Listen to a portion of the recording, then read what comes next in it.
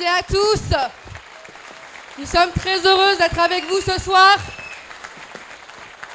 de voir autant de monde dans cette salle et pour moi un plaisir de co-animer cette soirée avec Charlène. Bonsoir à tous, bonsoir Elodie, merci, le plaisir est partagé. Nous nous retrouvons à nouveau ici dans cette salle du gymnase, près de cinq mois après notre dernier meeting. Ici, rappelez-vous, nous avions réuni plus de 500 personnes, alors que Jean-Luc Mélenchon n'était même pas là. Et nous sommes désormais à un mois du premier tour des élections présidentielles. Mais nous sommes également dans la dernière semaine d'inscription sur les listes électorales. En effet, ce soir, à minuit, se clôturera l'inscription sur les listes en ligne et le 4 mars sera le dernier délai pour s'inscrire en mairie.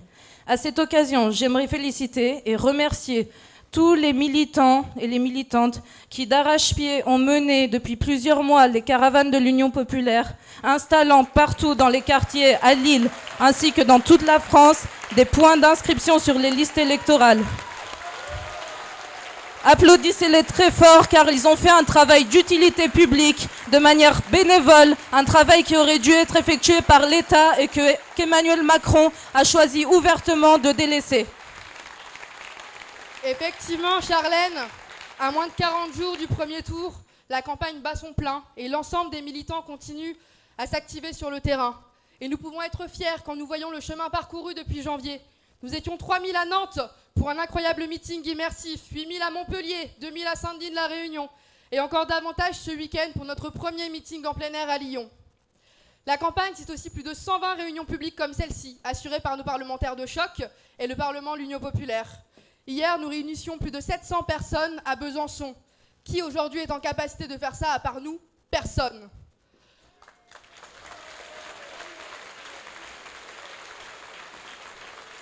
Enfin, une dernière victoire, et c'est sûrement la plus belle, car celle-ci, c'est celle de tous les militants qui, depuis des mois, ont parcouru les mairies sans jamais se décourager.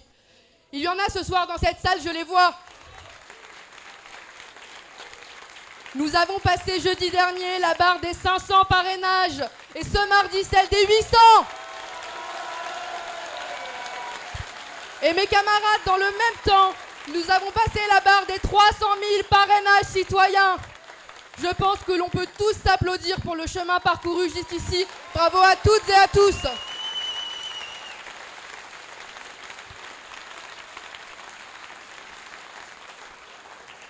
Les amis, avant d'accueillir nos orateurs, j'aimerais vous indiquer quelques dates importantes à retenir pour ce mois-ci. Tout d'abord, le 8 mars, qui est la journée internationale du droit des femmes. Une journée durant laquelle toutes les, insoumises et les insoumis seront au rendez-vous dans les mobilisations locales ainsi que nationales. Ensuite, le 12 mars, où aura lieu la marche pour le climat et la justice sociale. Et enfin, dernière date, mais pas des moindres, le 20 mars, durant laquelle aura lieu la marche pour la 6ème République à Paris, où j'aimerais vous rappeler que des bus sont mis à disposition pour tous ceux qui voudraient y participer en partance de Lille et d'autres villes jusqu'à Paris. Et si vous ne l'avez pas encore fait, n'hésitez pas à vous inscrire sur mélenchon2022.fr. Et par ailleurs, les camarades, deux bus sont déjà pleins à Lille, alors la compétition est lancée. Allez-y dans les Hauts-de-France, à celui qui fera le plus de bus. Il est temps à présent d'accueillir quelques-uns des visages de cette union populaire, les parlementaires de ce groupe insoumis qui depuis plus de 4 ans font notre fierté à l'Assemblée nationale, ainsi qu'un des nouveaux visages du Parlement de l'Union populaire.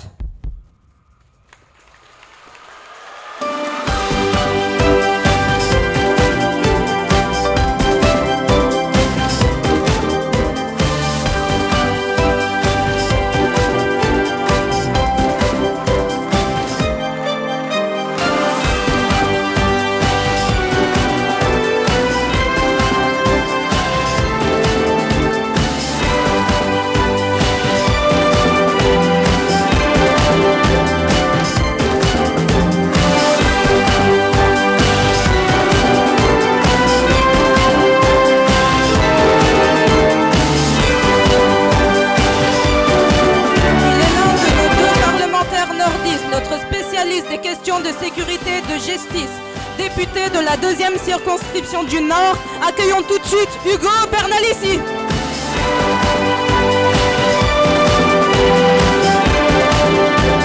La vie tous ces métiers du lien, souvent exercés par des femmes essentielles à notre société dans son dernier documentaire de les femmes. Depuis 2017, il porte les combats des ABS, des AESH, des femmes de ménage à l'Assemblée. Il vient de la Somme. Merci d'accueillir notre député reporter François Ruffin.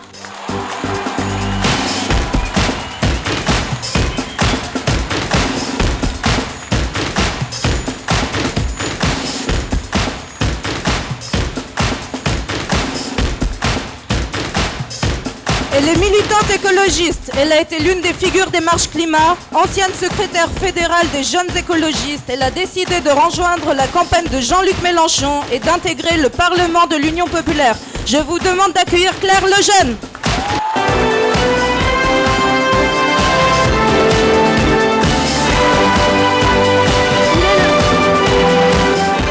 Le député de la circonscription sur laquelle nous nous trouvons ce soir.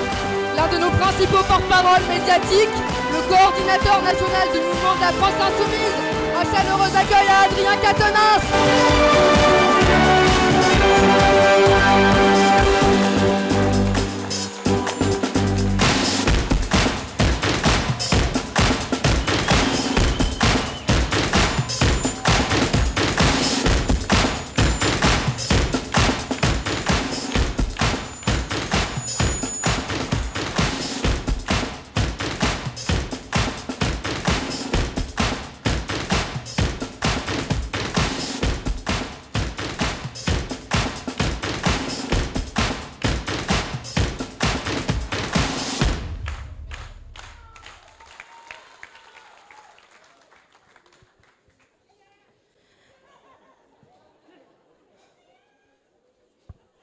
Aujourd'hui, Jean-Luc Mélenchon est en tête de la gauche. Il est de ce fait le seul candidat capable de mener la gauche au second tour.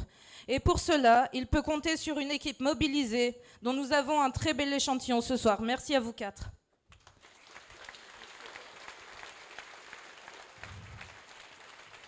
Et notre candidat peut être fier, car une nouvelle fois ce soir à Lille, nous faisons une démonstration de force, car ce soir nous sommes 800 personnes présentes dans cette salle. Bravo à tous et merci pour votre mobilisation.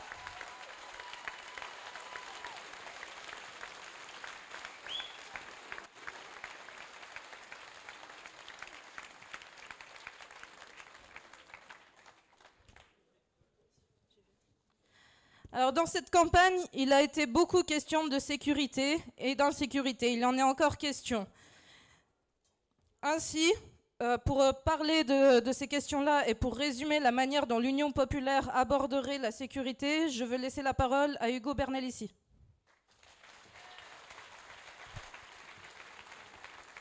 Merci.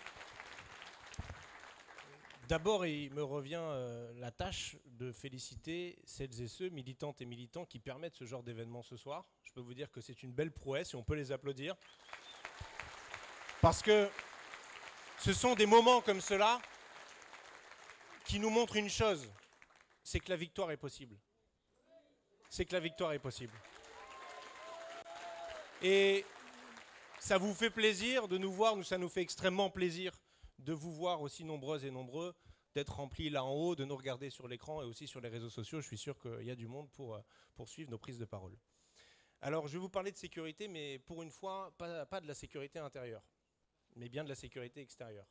Évidemment, vous le savez, il y a des événements euh, particuliers, dangereux, qui sont en train de se dérouler en Ukraine.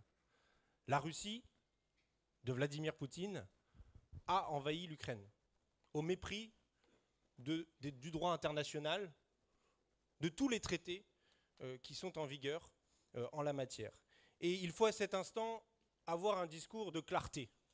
Oui, Jean-Luc Mélenchon, l'Union populaire, nous condamnons l'attaque de Vladimir Poutine dont il porte l'entière et intégrale responsabilité.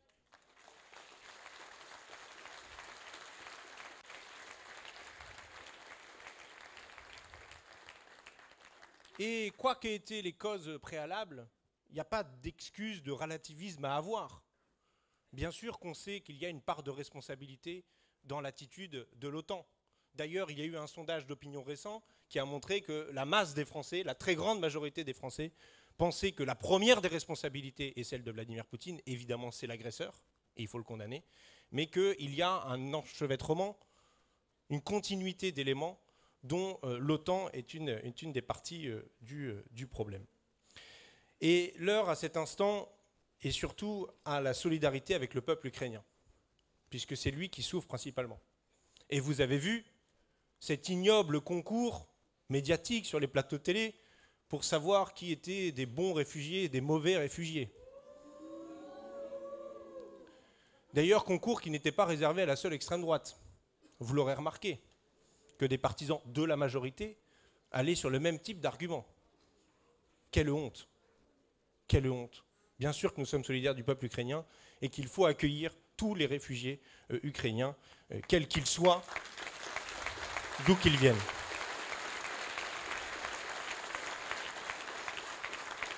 Il faut aussi à cet instant saluer la mobilisation des Russes. Oui, il y a des Russes qui se mobilisent en Russie contre ce que fait Vladimir Poutine en Ukraine. Et ils sont d'autant plus courageux que vous savez comment ça se termine pour eux. Les arrestations. Les arrestations. Donc, il faut le saluer. Et évidemment, toutes les manifestations de solidarité et manifestations pour la paix dans tous les pays d'Europe et à travers le monde. Merci à tous ceux qui ont pu donner un peu de leur temps pour donner à voir que la paix était une valeur que nous souhaitions porter collectivement en France et en Europe et dans le monde. Vous dire évidemment que l'heure est à cet instant au refus de l'escalade. Nous avons les puissances euh, qui sont euh, dans la, la guerre, des puissances nucléaires. Ce n'est pas une histoire euh, anecdotique. On sait bien que les événements pourraient se précipiter en une nouvelle guerre mondiale. C'est une possibilité. Donc il faut œuvrer avec précision, avec sang-froid, avec déterminisme et une détermination sans faille pour la paix. Qu'est-ce que ça veut dire concrètement? Ça veut dire qu'il n'y a pas d'alternative à la diplomatie. La seule alternative à la diplomatie, c'est la guerre. Et si nous ne voulons pas de la guerre, si nous voulons la paix, alors il faut la diplomatie. Alors il faut discuter. Alors il faut se mettre autour de la table. Nous devons pousser à ça, sans discontinuer. Il faut, il faut un cessez-le-feu immédiat. Voilà ce que nous voulons, un cessez-le-feu, un retrait des troupes russes de l'Ukraine. Ce sont les conditions de base pour avoir une discussion. Et oui, nous avons mis dans le débat la question de la neutralité de l'Ukraine. D'ailleurs, c'est l'Ukraine elle-même qui l'a mis dans le débat dans les années 90, au moment de son indépendance, et le président ukrainien actuel l'a remis sur la table dans les discussions euh, avec euh, euh, la Russie pendant cette diplomatie, pour l'instant diplomatie plutôt de guerre que, que de paix. Alors, il faut des garanties de sécurité, évidemment, pour faire ça. C'est pourquoi nous avons demandé à ce qu'il puisse y avoir une réunion de l'OSCE, l'Organisation pour la sécurité et la coopération en Europe, qui est l'organe prévu pour ça, pour discuter des frontières. Et vous savez que nous avons l'antériorité de cette demande. Alors ce n'est pas pour se la raconter, euh, mais c'est quand même au crédit du candidat Jean-Luc Mélenchon, qui il y a dix ans réclamait qu'il y ait cette réunion sur les frontières, puisque l'on voyait bien que ça pouvait craquer à chaque instant. Et que pour régler ce genre de situation, si on ne le fait pas en discutant, en se mettant autour de la table, ça se règle par d'autres méthodes. Celle que l'on voit à l'instant, la guerre. Oui, ce sont des sujets extrêmement importants. Alors on a pu se dire, comment, euh, faire euh, pour obliger la Russie à se mettre autour de la table Il y a la question des sanctions économiques. Et je veux le dire euh, là, porter un message pour le groupe. Vous avez peut-être vu le ministre Le Maire expliquer qu'il fallait faire des sanctions et que, bon, ben si derrière le peuple russe souffrait, ma foi, c'est comme ça. Non? Non, c'est pas comme ça. Ce ne sont pas les peuples qui font la guerre, là, en l'occurrence. Et en Russie, particulièrement pas. Ce sont les oligarques qui sont contents euh, de cette guerre et qui entourent Vladimir Poutine. Donc il faut mettre des sanctions économiques aux oligarques russes. Il faut saisir leurs biens partout où ils sont, eux personnellement, dans les paradis fiscaux, nous savons le faire.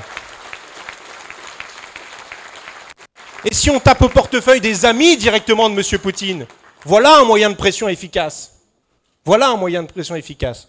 Encore faut-il s'en donner euh, l'objectif.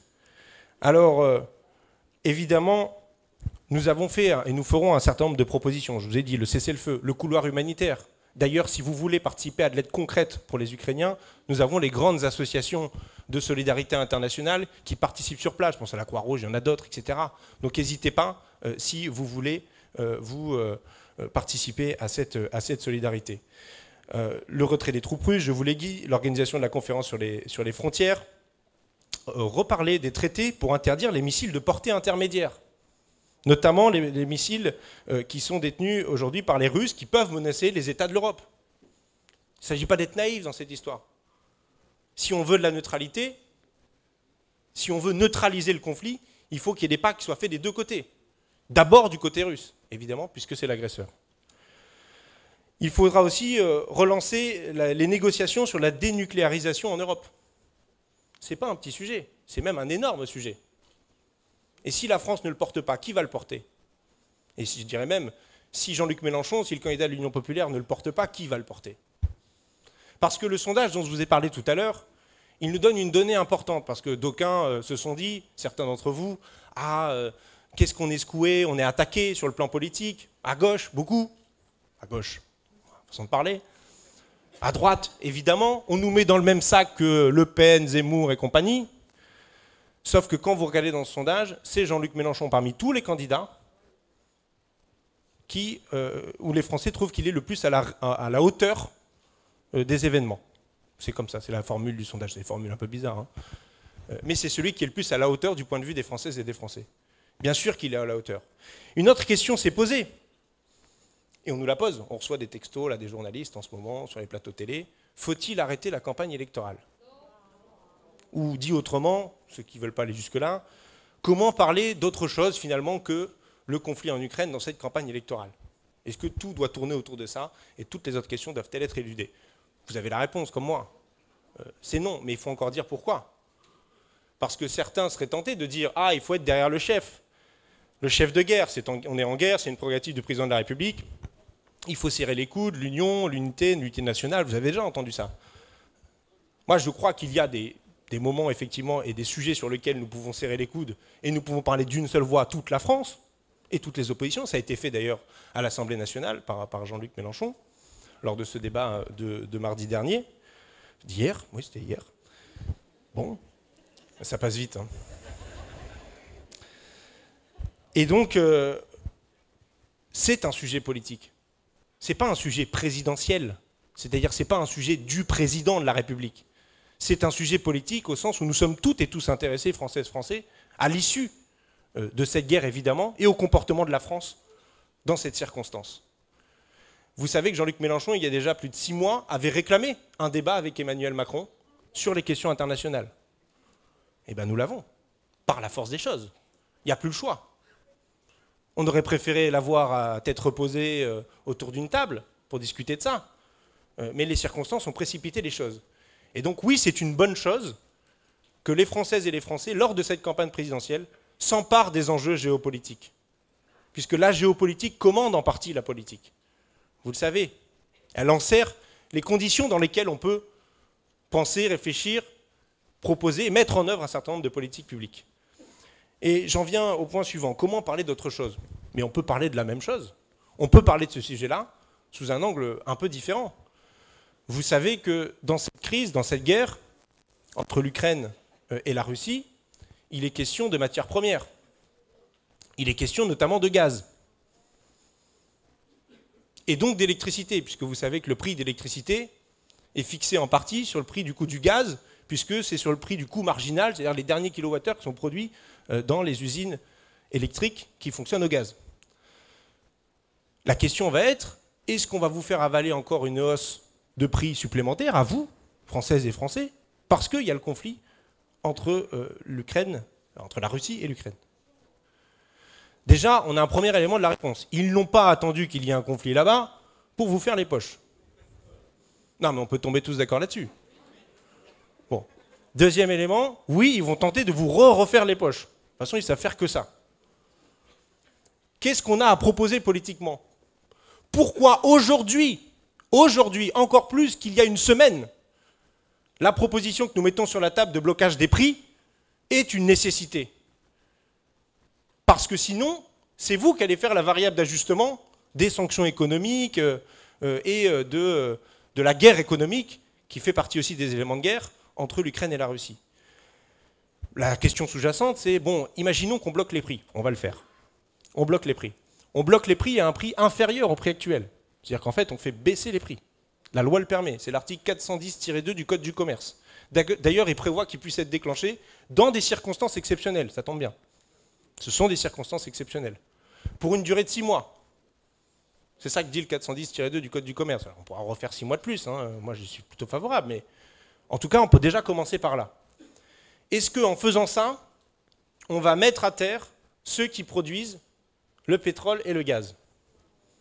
Nous avons des éléments de réponse depuis un mois, un mois et demi là, puisque les chiffres sont tombés des dividendes, des profits et des dividendes. Et on voit bien qu'une entreprise comme Total, une entreprise comme Total, fait son record historique, record historique de dividendes pour elle-même et pour le CAC 40. 15 milliards d'euros. Je ne sais pas si vous représentez ce que c'est 15 milliards d'euros. Moi non plus. Bon, moi, mon, ordre de grandeur, c'est le budget de la justice. Bon, voilà, chacun ses ordres de grandeur. C'est à peu près 9 milliards d'euros. Ok, ça vous donne un ordre d'idée. Pour faire fonctionner toute la justice du pays, et quand je dis justice, c'est les tribunaux, les prisons, enfin tout. Hein. 9 milliards. Donc comme ça, voilà, vous voyez à peu près euh, où, on se situe. C'est pourquoi, en bloquant les prix, on s'est refusé à dire que d'abord on baisserait les taxes. Parce que si vous baissez les taxes, est-ce que Total peut encore faire 15 milliards? Bien sûr, ben si, il s'en fout des taxes Total. C'est vous qui les payez, c'est pas Total qui les paye. J'ai entendu non. Ah si, évidemment. Non mais c'est bien, c'est bien ça le sujet. C'est que si vous baissez la taxe, Total, il s'en fiche. Enfin, je prends Total, mais il y a les autres qui vont avec, c'est pareil. Il en a rien à faire.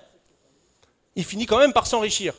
Donc si on veut que ce soit eux qui payent, c'est-à-dire qu'ils prennent sur leurs profits qu'ils ne verseront pas en dividendes aux actionnaires, alors il faut fixer un prix plus bas. Voilà pourquoi le blocage des prix il a toute sa logique. Parce que souvent on nous entend, ah oui, mais si vous faites ça, euh, alors on vous met en avant parce qu'on veut bloquer les prix sur les, produits alimentaires, j'y viendrai après. Et on vous dit, oui, mais attendez, si c'est comme ça, les agriculteurs, euh, ils ne vont pas pouvoir euh, se nourrir. Si vous bloquez les prix plus bas, déjà qu'ils sont en difficulté. Oui, mais l'agriculteur, il voit déjà pas la couleur, en fait, du prix que vous, vous payez au supermarché. Il n'en voit pas la couleur. Donc, il faut, quand on bloque les prix, bloquer les prix, mettre un plancher pour les agriculteurs, un prix rémunérateur, décidé, et bloquer les prix tout en haut pour le distributeur. De sorte à ce que ce soit le distributeur et le grossiste qui prennent la différence. Est-ce qu'on sait faire ça? Parce qu'on m'a dit, bon, écoutez, euh, monsieur le député, c'est très intéressant, c'est trop, compliqué. Non, vous imaginez, il faut choisir des fruits, choisir des légumes, fixer des prix. Alors vous savez que Jean-Luc reprend souvent cet exemple-là, il dit euh, jusqu'en 1986, les prix étaient administrés. Oui, c'est vrai, mais en 2022, au moment où on se parle, les prix sont administrés en France. Alors pas en France hexagonale, c'est vrai, mais dans toutes les outre-mer. Il y a un dispositif qui s'appelle le bouclier qualité-prix, avec à côté les observatoires des prix, des marges et des revenus. Et donc ils mettent tout le monde autour de la table, et ils prennent des produits, produits de première nécessité, 5 fruits et légumes, le carburant, l'électricité, le gaz, l'eau, etc. Et ils fixent les prix. C'est la préfecture. Elle prend un, fait un décret, un arrêté plutôt, préfectoral, euh, et, elle vous fixe les prix. Et qu'est-ce qu'ils font derrière? Ben, Ils appliquent. Est-ce que c'est la révolution euh, là-bas? Oui, avec les gilets jaunes, un coup de temps en temps, c'est vrai. Justement pour réclamer qu'il y ait plus de produits dans le bouclier qualité-prix et que ce soit davantage respecté. C'est comme ça qu'à La Réunion, aujourd'hui, ils en sont à 183 produits. D'accord? Pas 5 fruits et légumes. 183. Donc ce qu'on sait faire à La Réunion, on ne saurait pas le faire euh, dans la France hexagonale? Bien sûr que si, c'est déjà la France. Quel est le problème? Donc on le fera. Donc on a les outils pour le faire. On sait le faire. C'est une nécessité. C'est une nécessité, et je suis allé faire un petit tour hier au Salon de l'agriculture, pour les, les agriculteurs, d'abord pour eux-mêmes, pour avoir ces prix rémunérateurs. Alors évidemment, il faut tout replanifier, mais là c'est François qui vous parlera de tout ça, en partie de relocalisation, m'a-t-il dit. Il me regarde comme si j'ai dit une connerie. Claire vous dira euh, pourquoi c'est un enjeu. Il y a un rapport qui est sorti là récemment, du GIEC par exemple. Donc il y a un enjeu à relocaliser l'agriculture paysanne, bio, vivrière, et avoir une souveraineté alimentaire. Je, discutais avec les producteurs de légumes et ils me rappelaient qu'il y avait 50% de légumes qui sont vendus en France sont français. Ah, ils m'ont dit un peu un truc différent. Non, c'est même pas ça. Non, on produit 50% euh, d'autosuffisance. Mais en fait, c'est pas exact parce que un légume sur trois euh, qui est acheté est français. Parce qu'il y a une partie des légumes que nous on produit qu'on exporte aussi. Et d'autres nous exportent des Enfin, vous voyez le truc Donc il y a un problème, quoi. 50%, c'est pas faire des légumes. Moi, je sais pas trop faire des légumes, c'est vrai. Je suis pas. Tout le monde pas euh, n'a pas la main verte, mais on sait pas faire des légumes. Non mais j'en reviens pas, on est en 2022, on sait pas produire suffisamment de légumes pour ce qu'on a besoin de manger dans ce pays. Donc on va le faire. Il faut 300 000 à 400 000 paysans de plus pour faire ça. Bah oui, parce que ça demande de la main-d'œuvre. Et ça demande de bien les payer. Donc il faut augmenter le SMIC. Et à la fin, pour qu'il y ait des prix rémunérateurs et que les intermédiaires ne se prennent pas tout, il faut bloquer les prix et les administrer. Et il faut faire en sorte qu'on prenne 5 fruits et légumes de saison et du coin. De sorte à ce qu'ils puissent mettre leurs fruits et légumes dans les étals du supermarché. Parce qu'aujourd'hui, ils n'y ont pas accès en fait. Hein. Quand vous produisez pas assez, vous êtes un tout petit producteur, le grossiste vous dit d'aller vous faire voir, hein, de vous débrouiller. Alors vous vendez à une AMAP, euh, vous vendez euh, euh, comme ça sur un marché avec vos consommateurs du coin. Mais c'est bien plus qu'il faut faire. Il faut industrialiser le bio.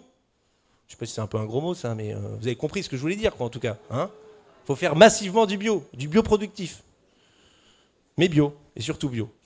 Donc on a besoin de, souveraineté, de souveraineté énergétique. Pourquoi on a besoin de souveraineté énergétique bah, Regardez la crise dans laquelle on se situe. La guerre, c'est un des éléments de plus qui vient donner de l'eau au moulin de nos arguments sur la nécessité de relocaliser et de redevenir souverain sur la production énergétique, sur les productions alimentaires, sur les productions sanitaires. Parce que la pandémie nous a enseigné la même chose. C'est-à-dire que quand vous êtes dans un circuit d'interdépendance mondiale et qu'il y a un principe de spécialisation où on va plutôt faire des masques chirurgicaux toujours au même endroit de la planète, voilà, pareil, je donne un exemple comme ça, choisi complètement au hasard évidemment, et que le pays où c'est produit, il a besoin de ces masques et qu'il n'en vend plus, et que vous avez vous-même de, besoin de masques, comment vous faites? Bah, vous faites, on vous envoie des porte-paroles du gouvernement qui vous disent non, mais de toute façon, c'est pour les mettre.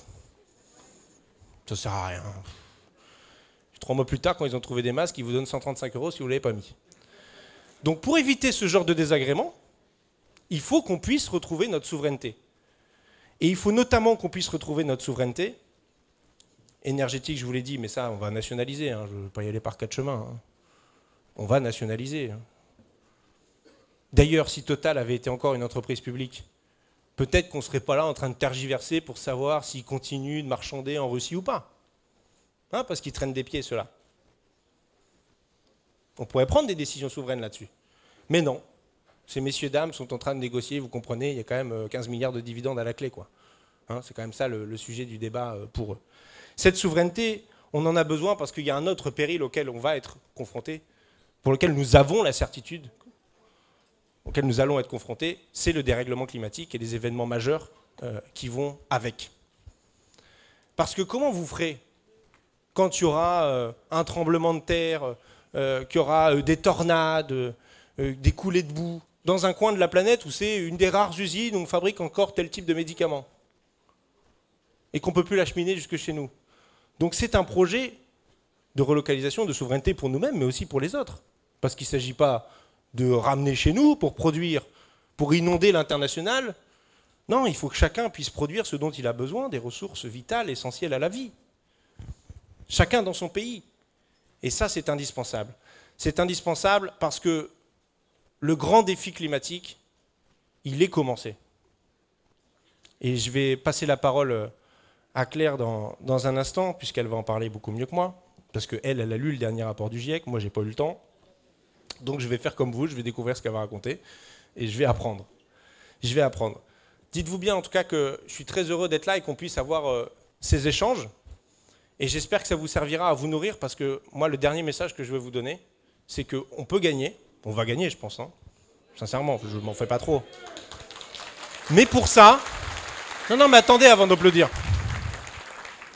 Pour ça, va falloir vous y mettre. Non, mais parce que là, moi, ça fait 21 minutes et 50 secondes. Non, non, j'ai pas dit que c'était des feignants. Je suis pas encore président de la République, enfin. Non, mais on compte sur vous, vraiment. Une campagne, c'est pas juste le candidat, c'est pas juste les députés qui sont là ou, Claire qui nous a rejoints. Euh, euh, voilà, c'est comment vous êtes en capacité dans votre cercle familial, dans votre cercle d'amis. Il faut que vous soyez pénible.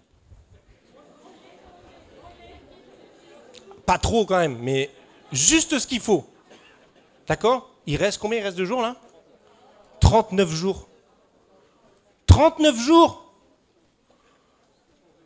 et oui, et on va y arriver. On va y arriver notamment parce que ça va voter dans tout le pays, notamment là où ça vote le moins d'habitude, où ça va se réveiller, pour aller retrouver le chemin des urnes. On le sait, on fait des porte-à-porte.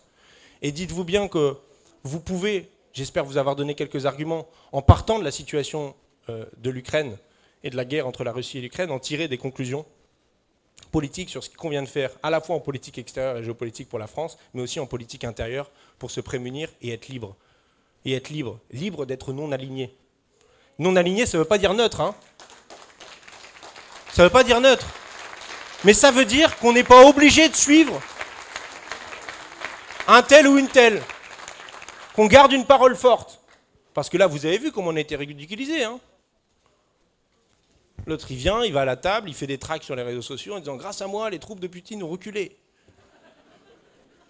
Non, mais c'est vrai, je vous jure.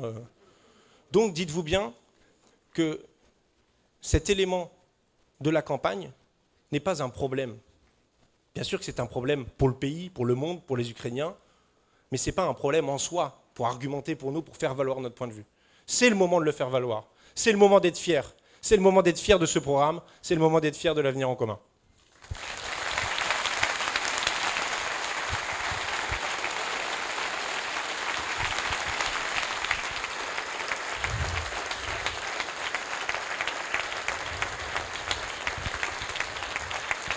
Merci beaucoup Hugo pour cette intervention.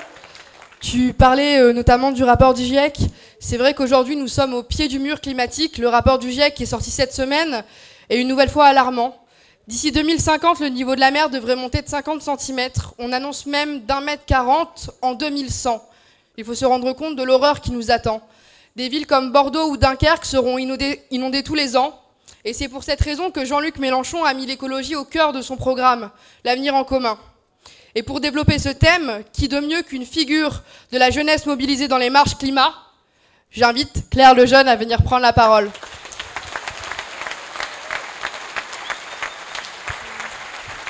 Bonsoir Lille. Est-ce que vous êtes chaud?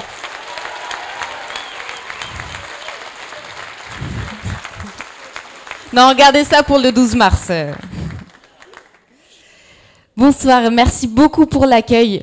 Euh, comme vous le savez, je suis arrivée récemment dans l'Union populaire et une des choses qu'on m'a dit, c'est oh mais la FI, sont sectaires.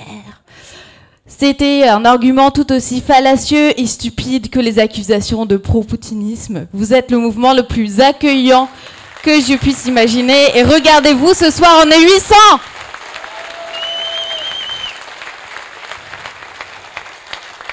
Bon, effectivement, ce soir, je vais vous parler de ce rapport du GIEC euh, qui est paru lundi.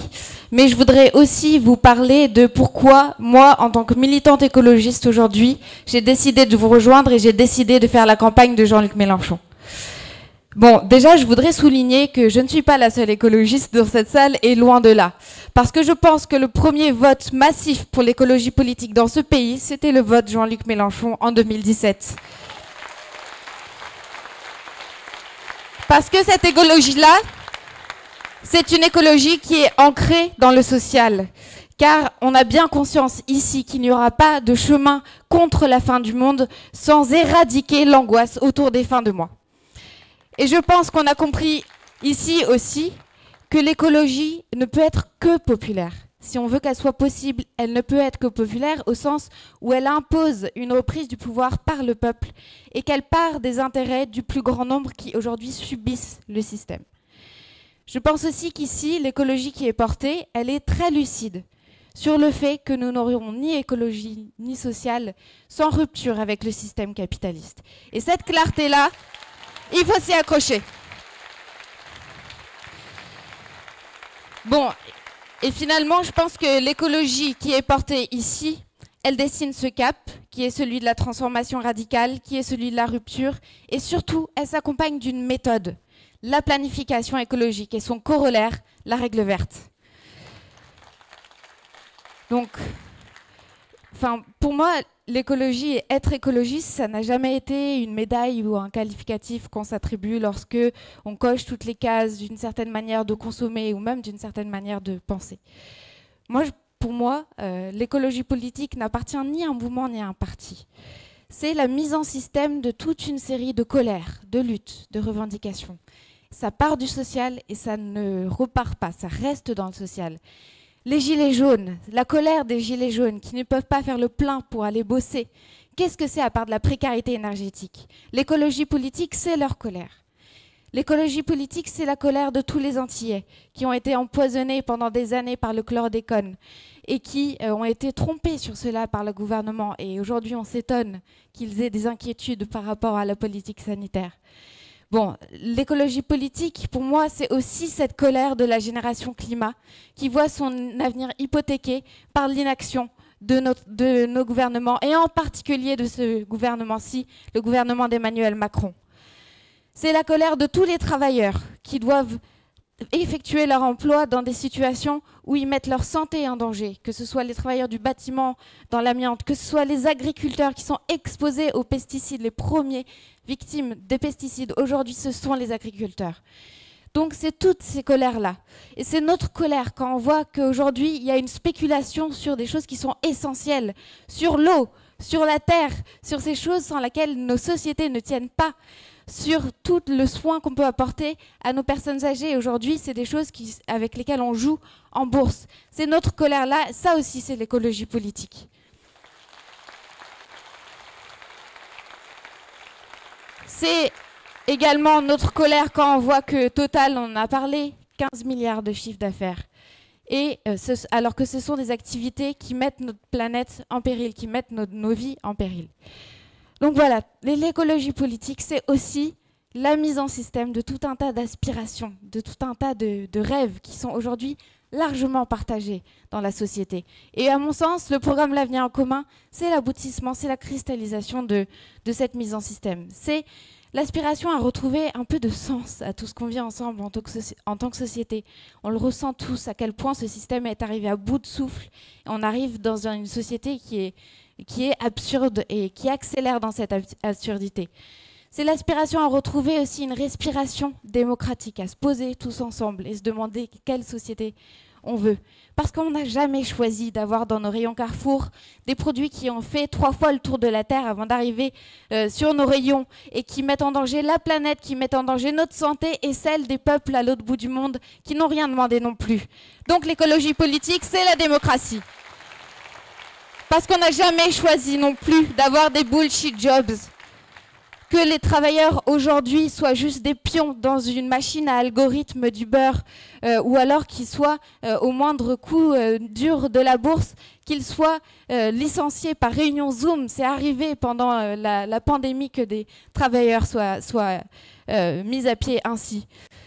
Donc, c'est des choses qui sont très évidentes, qui sont très élémentaires mais on voit à quel point notre société s'est éloignée de tout ça. Notre campagne et le programme L'avenir en commun et la candidature de Jean-Luc Mélenchon, c'est pour remettre toutes ces questions-là au centre du jeu. Et l'écologie politique en 2022, elle est ici, elle est ici avec nous ce soir. Et je voulais euh, vous dire aussi pour moi, le combat écologiste, euh, c'est en quelque sorte la poursuite du combat de tous ceux et celles qui sont nos héritiers, euh, euh, dont nous sommes les héritiers, pardon. Les révolutionnaires de 1789, les communards de 1871, euh, ceux qui ont fait le Conseil national de la résistance et qui ont fait la Sécu, ils ont placé au centre du débat politique la question, l'idée universelle d'égalité et celle de solidarité. L'idée qu'une société ne tient pas debout si on n'organise pas ces solidarités. Dire que notre fil rouge, c'est l'harmonie entre les êtres humains et entre les êtres humains et la nature, ce n'est pas autre chose que d'amplifier ce combat, de dire oui, remettons au centre du débat ces solidarités-là et amplifions cela. Affirmons que nos solidarités tiennent aussi avec le vivant dont nous dépendons. Donc, on s'inscrit aussi dans cette filiation-là, et c'est pour ça que la constituante est essentielle dans le projet. Et on voit à quel point tout se tient. Social, écologie, démocratie, ce sont des choses qui structurent, qui, sont des piliers du programme pour lequel nous nous, nous combattons ensemble lors de cette campagne. Donc, je vais effectivement vous parler de ce fameux rapport du GIEC. Euh, et euh, il est sorti donc lundi et il porte en particulier sur la dimension d'adaptation aux conséquences du dérèglement climatique. Déjà, ça doit nous alerter. On est, dans une phase où on commence à publier des rapports sur comment on va s'adapter c'est déjà le signe qu'il y a un, échec massif de la classe politique qui dure depuis des décennies, parce qu'on n'a pas réussi à prévenir la situation dans laquelle on est aujourd'hui, qui est une situation où il y a jusqu'à 3,6 milliards d'individus qui vivent dans des régions qui sont mises en péril par les conséquences du dérèglement climatique. Donc déjà, on doit avoir une forme d'alerte et de colère par rapport à ça. Dans ce rapport, on nous indique aussi que depuis 2008, c'est en moyenne 20 millions de personnes par an qui ont dû migrer au sein de leur pays pour euh, faire face, pour s'adapter à des aléas climatiques. Et ça, c'est sans compter les millions et les millions de migrations climatiques qui ont déjà lieu aujourd'hui.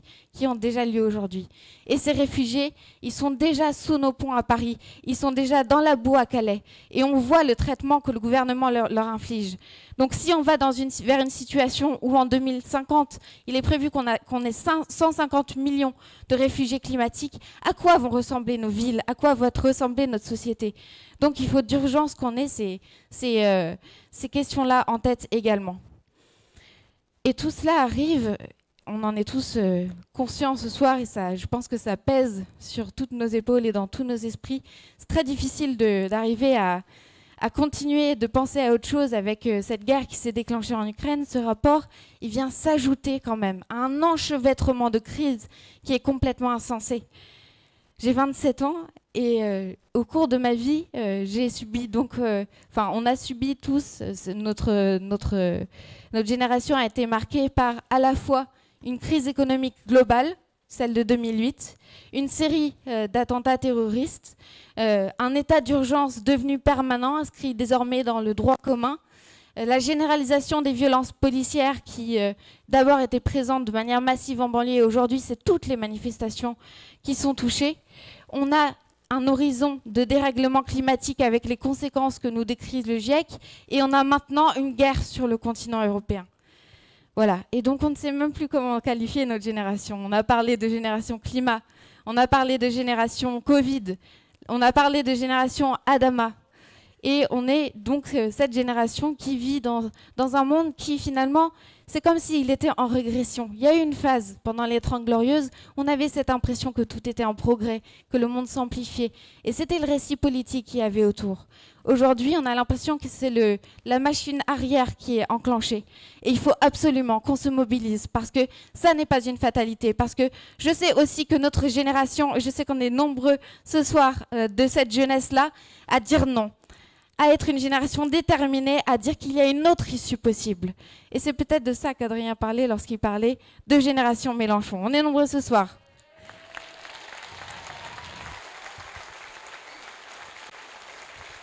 On est cette génération qui décroche Macron. Est-ce que Gaspard est là ce soir? Et on, on décroche Macron dans les mairies et on va aussi décrocher Macron dans les urnes en avril. On compte sur vous pour ça.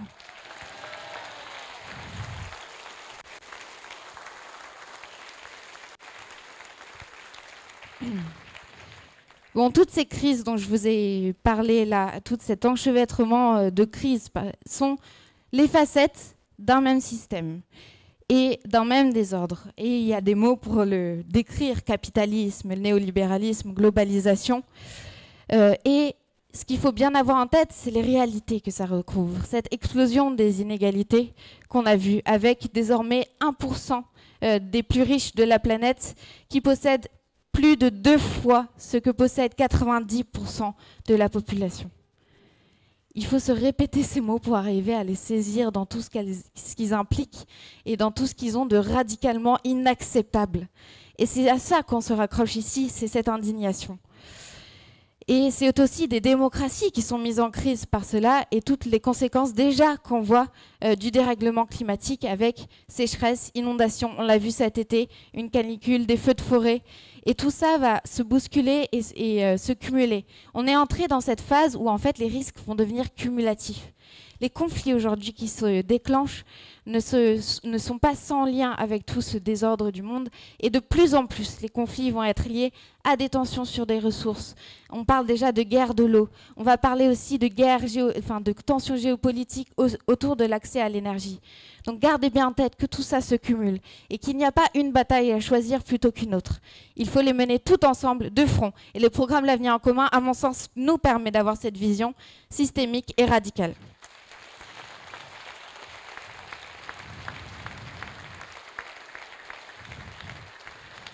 Donc notre campagne, c'est celle-ci. C'est celle de toutes les personnes qui disent non, nous ne voulons pas de ce monde-là. Et, euh, je pense que c'est d'ailleurs euh, le slogan qui va, accompagne la nouvelle affiche de campagne, Un autre monde est possible. Et aujourd'hui, vous rendez cet autre monde possible.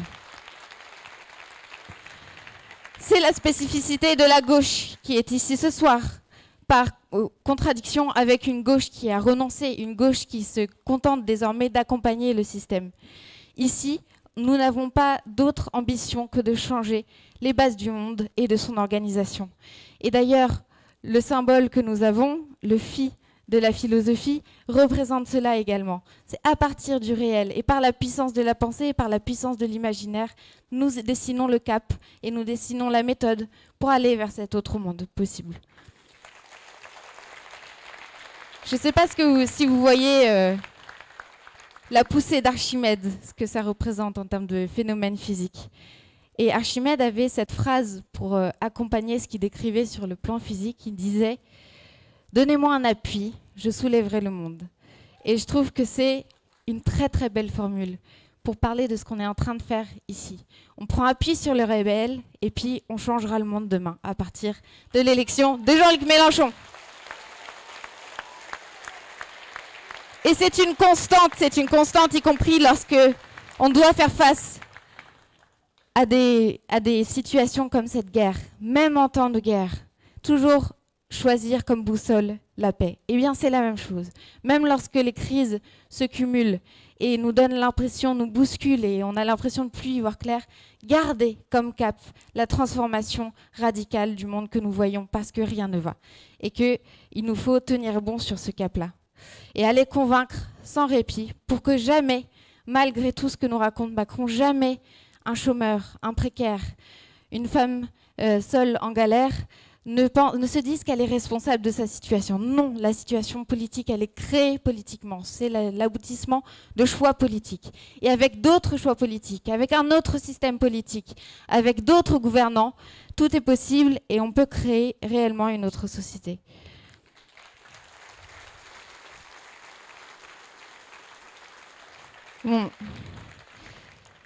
Une autre des raisons pour laquelle je suis ici en tant que militante écologiste, c'est que je pense qu'on a saisi ici euh, et dans le programme L'avenir en commun, dans notre campagne, à quel point le modèle économique actuel crée le chaos et il s'en nourrit. Les désastres écologiques vont suivre les contours des fractures sociales et ils vont les amplifier la logique du marché, euh, et plus la logique du marché est étendue, plus les conséquences du dérèglement climatique seront brutales et seront inégales. Imaginez-vous des canicules à répétition et de plus en plus intenses dans un EHPAD d'Orpea. Ce ne sera plus seulement les couches et les pépitos qui seront rationnés, ce seront les minutes auprès de la clim. Et pour ça, c'est des questions de vie ou de mort pour tant de nos personnes âgées. Imaginez un instant si on a un système d'eau complètement privatisé, les sécheresses qu'il va y avoir, les pénuries d'eau, eh ben, ce sera un système où on aura les riches qui pourront continuer de remplir leurs piscines et les pauvres qui vont littéralement mourir de soif. Et en fait, on n'a pas tellement besoin d'imaginer. C'est déjà en cours, ce mouvement-là. La pandémie, qui a des raisons écologiques? Les, les euh, mais bon, l'AFI a fait un très bon travail euh, d'explicitation de ces questions-là, donc je ne m'étends pas. Mais déjà, on a vu à quel point la pandémie suit les contours des inégalités sociales. la différence entre toutes les familles qui se sont retrouvées entassées dans des logements mal isolés, insalubres, en Seine-Saint-Denis ou ailleurs, alors que bon, les plus aisés pouvaient aller dans leur maison secondaire à la campagne. Déjà, il y a des fractures sociales qui s'amplifient du fait des crises, des crises sanitaires ou des crises écologiques que nous subissons. Déjà, quand on regarde les chiffres de la pollution, des morts liées à la pollution de l'air, c'est 67 000 par an quand même en France tous les ans. On voit déjà que les inégalités sociales sont présentes et que c'est avant tout euh, les habitants des quartiers populaires où on installe des incinérateurs. Quand il y a un bras d'autoroute à faire passer, c'est pas un problème de le faire passer juste à côté des tours et des bars. On voit déjà que les inégalités suivent, euh, qu'il y a une porosité entre les inégalités écologiques et les inégalités sociales. Donc, bien sûr, comme euh, j'essaye de l'expliciter en fil rouge de cette intervention, social et écologie, ça va de pair ensemble. Et ici, vous l'avez compris mieux que, mieux, que nulle part ailleurs. Et d'ailleurs, il y a une notion, euh, la notion de résilience, qui est pas mal utilisée. Mais elle aussi, en fait, il faut la déconstruire et comprendre ce qu'il y a derrière. C'est facile d'être résilient lorsqu'on a pas mal d'épargne euh, ou de maisons, etc.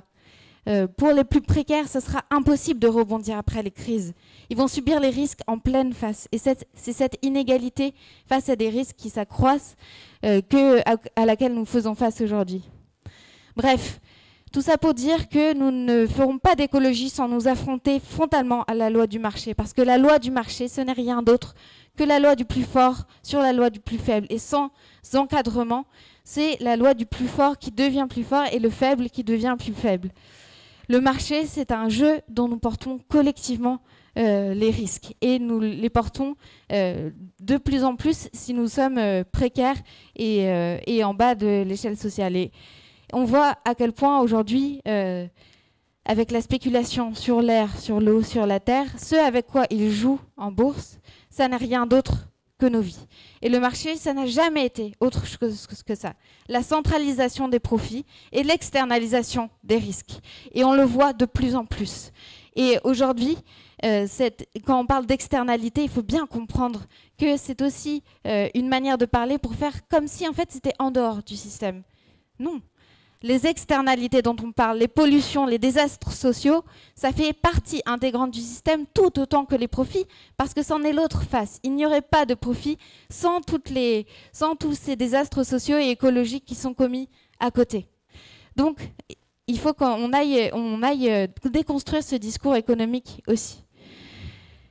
Et si je vais, pour terminer, parce que je vois que le temps avance, euh, je voudrais revenir à ce rapport du GIEC parce qu'aujourd'hui, donc deux jours après euh, la publication du rapport qui a eu lieu lundi, euh, il y a eu la publication du résumé pour décideurs.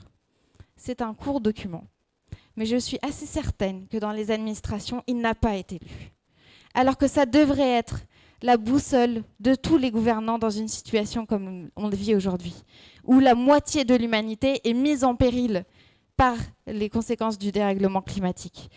Donc nous, à partir, quand nous serons élus après avril 2022, nous changerons cette boussole et nous y mettrons l'intérêt général humain.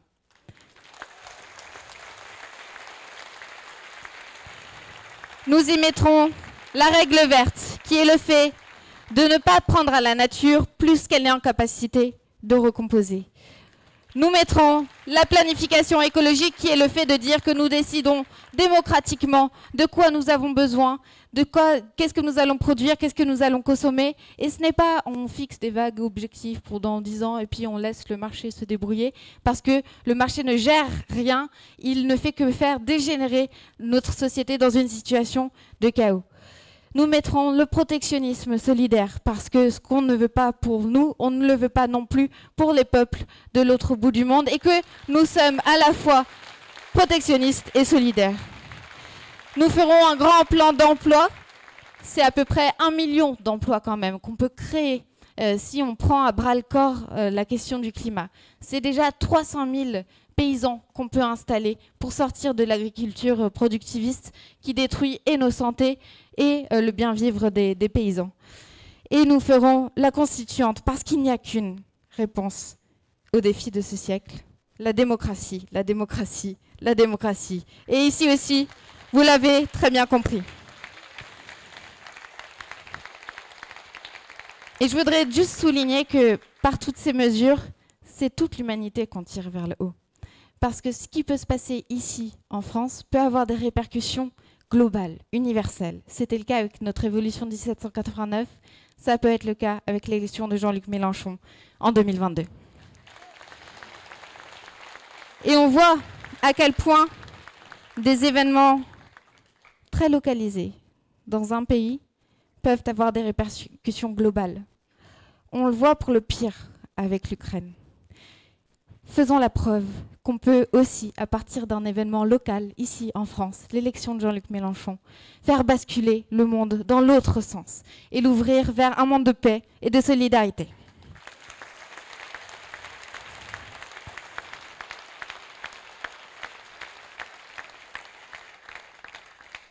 Et donc, qu'on nous donne ce point d'appui, comme nous le demandait Archimède, et véritablement, nous changerons le monde. Merci Lille.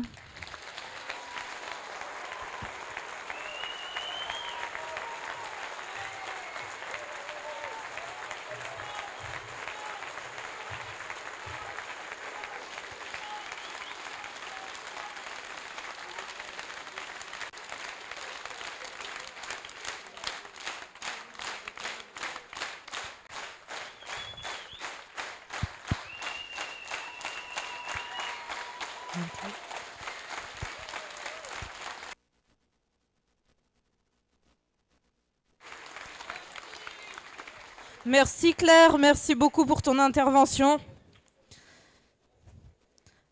L'Union populaire, ce sont aussi ces hommes et ces femmes engagés dans des combats sociaux, comme Rachel Keke, nouvelle recrue du Parlement de l'Union populaire et porte-parole des femmes de chambre de l'Ibis Batignolles, qui après 22 mois de lutte ont gagné victorieusement leur combat. Et ces combats-là, Quelqu'un ici les a portés sur le terrain, à l'Assemblée, mais aussi sur grand écran. J'aimerais ainsi laisser la parole à François Ruffin.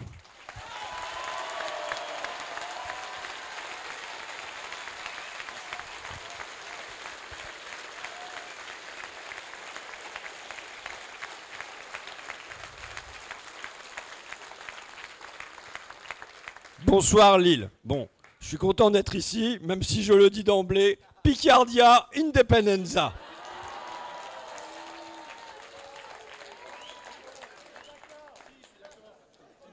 Mes premiers mots seront évidemment des mots de remerciement. Des mots de remerciement pour euh, toutes les petites mains qui effectuent un travail dans l'ombre. Euh, si vous êtes là 800 ce soir, ce n'est pas le fruit du hasard. C'est parce qu'il y a des gens qui ont diffusé des tracts, qui ont posté sur les réseaux sociaux, qui euh, sont venus installer les chaises, qui ont euh, posé des affiches et ainsi de suite. Donc je voudrais qu'on remercie Aurélien, Lucas, Lionel, Nicolas, Gaël, Dominique, Léandre, Benjamin, Stéphane, Sébastien, Carole, Roland et les autres.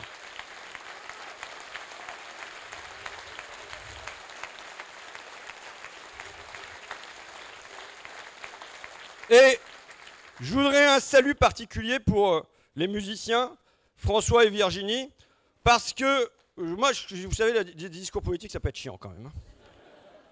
En plus, vous êtes quatre, on est quatre à passer d'affilée, laisse tomber quoi. Bon. Et la musique, c'est comme la sauce qui permet de faire passer le plat. Et d'autant plus la nécessité de la musique par des temps où le pouvoir, il nous veut triste, il nous veut résigné, il nous veut déprimé. Et je pense qu'on a l'arme, notre arme, c'est la joie. Voilà.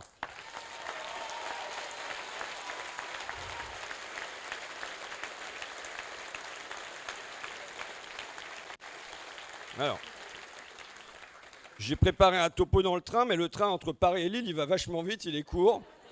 Donc mes papiers, c'est un peu dans le désordre, comme d'habitude, mais c'est pas grave. Si vous ne comprenez pas, vous aurez la version claire de ça après moi, puisque c'est Adrien qui viendra s'exprimer.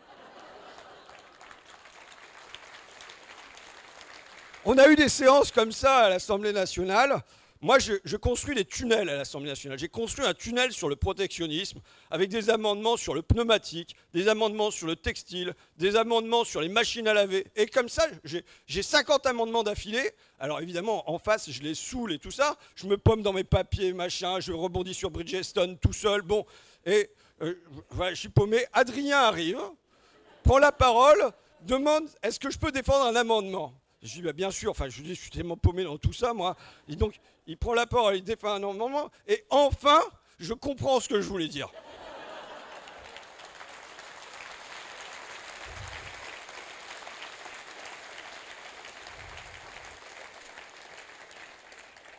Je voudrais partir du rapport du GIEC où il y a des experts dans le monde s'expriment et ils disent qu'ils regrettent que la réponse aux événements en France, aux événements climatiques, ne se traduise que par des actions dispersées sans vision globale. Je viens vous dire ce soir quoi? Je viens vous dire que pour cette élection présidentielle, au fond, il y a deux choix. Il y a un choix entre le laisser-faire, entre le laisser-aller, entre l'absence de vision globale, et un choix qui est celui de la régulation de l'économie, un choix qui est celui de l'encore. Face à ça, face à, des marchés qui proposaient des prix sous les prix de production, qu'est-ce que je venais proposer avec euh, mes collègues insoumis et communistes? Des prix planchers, des quotas de production, des coefficients multiplicateurs, bref, des outils qui ont fait la preuve de leur efficacité pendant des décennies, et à la place, tout en étant conscients du problème, qu'est-ce qu'ils ont proposé? Je vous cite un bout du texte de loi.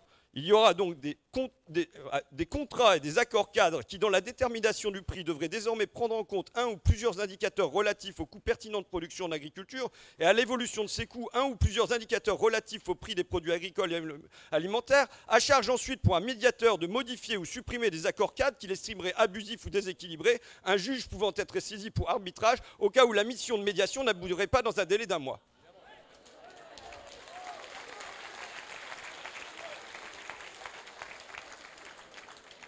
Ce petit bout-là est le témoignage de la contradiction dans laquelle il se trouve pris.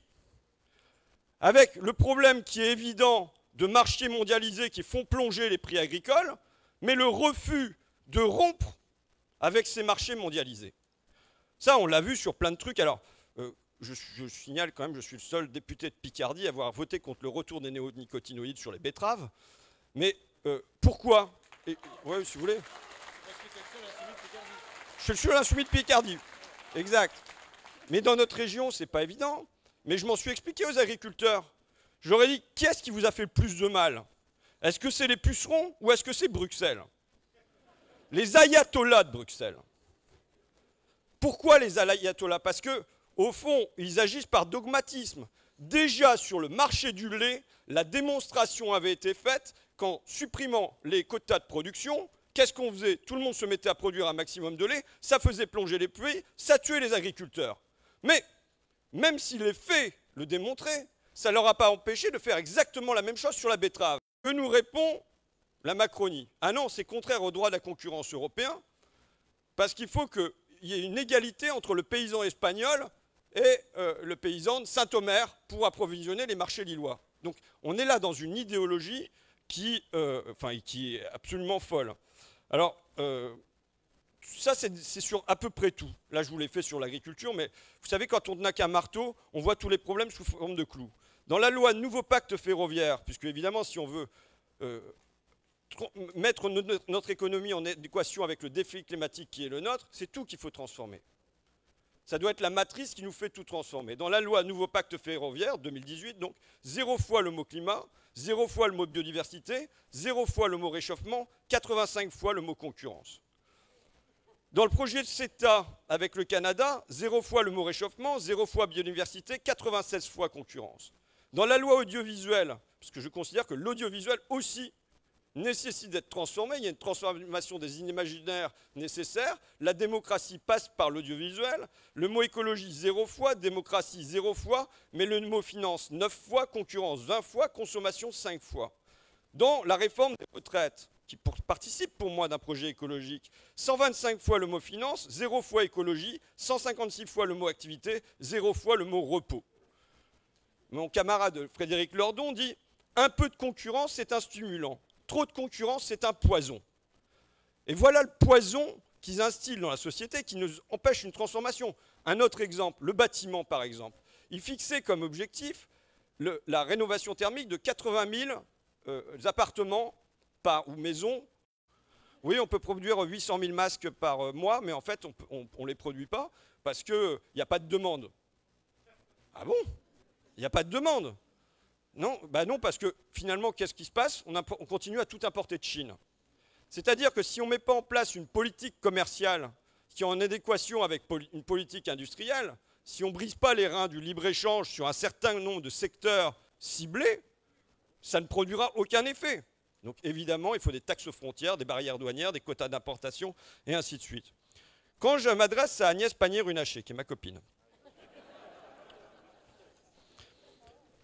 dans le cœur de la crise Covid, on a un manque d'hypnotique. Alors là, on peut énoncer comme ça, on a un manque d'hypnotique. Ça veut dire quoi? Ça veut dire que concrètement, les médecins, ils diminuent les doses pour des gens qui sont en train de crever. Et qui non seulement vont mourir, mais vont mourir dans la souffrance. Parce qu'il y a un manque de sédatifs, parce qu'il y a un manque d'hypnotique. J'interroge Agnès Pannier-Runacher pour lui demander, bon alors, qu'est-ce que vous faites? Est-ce que vous demandez euh, à Sanofi de rapatrier les lignes de production, de cibler plus fortement ces produits-là euh, que d'autres? Elle, elle me répond simplement, je crois qu'on peut faire confiance à Sanofi. Évidemment, moi je fais une très grande confiance à Sanofi pour faire du profit. Mais en deux mots,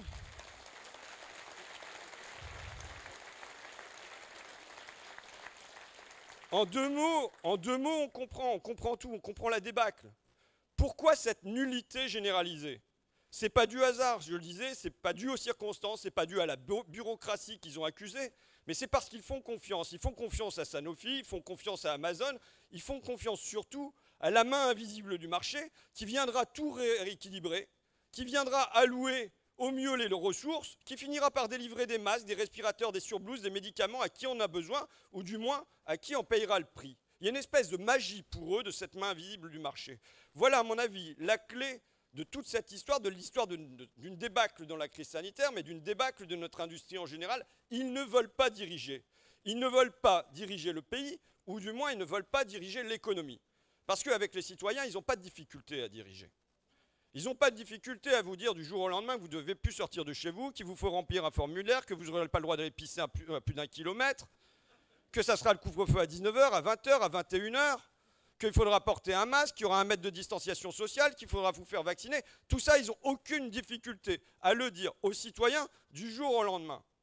Mais dès qu'il s'agit de l'économie, ils ne veulent plus diriger. Ils ne veulent plus guider la production. Ils ne veulent plus fixer aux firmes des impératifs. Là, à ce moment-là, ouais, si vous voulez applaudir, parce que je ne sais pas faire moi les trucs où on. on- Des, des, clap-trap. Donc je ne sais pas faire des clap-trap, je ne sais pas faire des clap-trap, je vais me former parce que je vois que Claire a été formée vachement vite. Donc moi, normalement, ça fait un paquet d'années que je suis là, je devrais pouvoir me former. Pour eux, il faut que l'économie puisse se mouvoir librement et il faut la libérer toujours plus. Voilà ce que le témoignage, le, révélateur qui a été la crise sanitaire. Dans cette crise sanitaire, alors je joue à mon jeu traditionnel, je joue au juste prix, je me réincarne en Patrick Roy. Ouais, ma Patrick Roy, c'est ma génération, c'est moi, je suis génération Patrick Roy, tu vois. Bon. Euh, Est-ce que vous savez de quel pourcentage ont augmenté la fortune des milliardaires français en 12 mois de crise sanitaire? Il y a un DVD de Boulet Femmes à gagner à la sortie, sur la table de vente qui se trouve là-bas. 50% c'est plus. 300% c'est moins. 125% c'est moins. Alors vous avez joué une fois, vous n'avez pas le droit de jouer deux fois, hein, attention. 70 c'est moins. C'est une année un tout petit peu moins, c'est une année chère à la gauche française. 69 c'est une année chère à beaucoup de choses, mais pas à la gauche française. 68, c'est pour. Je sais pas si c'est pour vous parce que vous avez triché. hein, Je vous ai dit que vous n'avez pas le droit de jouer plus. Enfin, pourquoi je le fais comme ça? Parce que c'est évidemment une incroyable indécence qu'en 12 mois de cri- crise sanitaire, où on a demandé à tous les Français de se serrer la ceinture, de rester chez eux, d'être malheureux. Il fallait être malheureux. Eh bien, dans le même temps, les milliardaires français ont vu leur fortune augmenter de 68%. Il faut se le graver dans les têtes. Il faut en parler le dimanche dans les clubs de foot. Il faut en parler au repas avec les cousins. Comment tu dis Il faut être pénible, c'est ça? Ouais, il faut être pénible.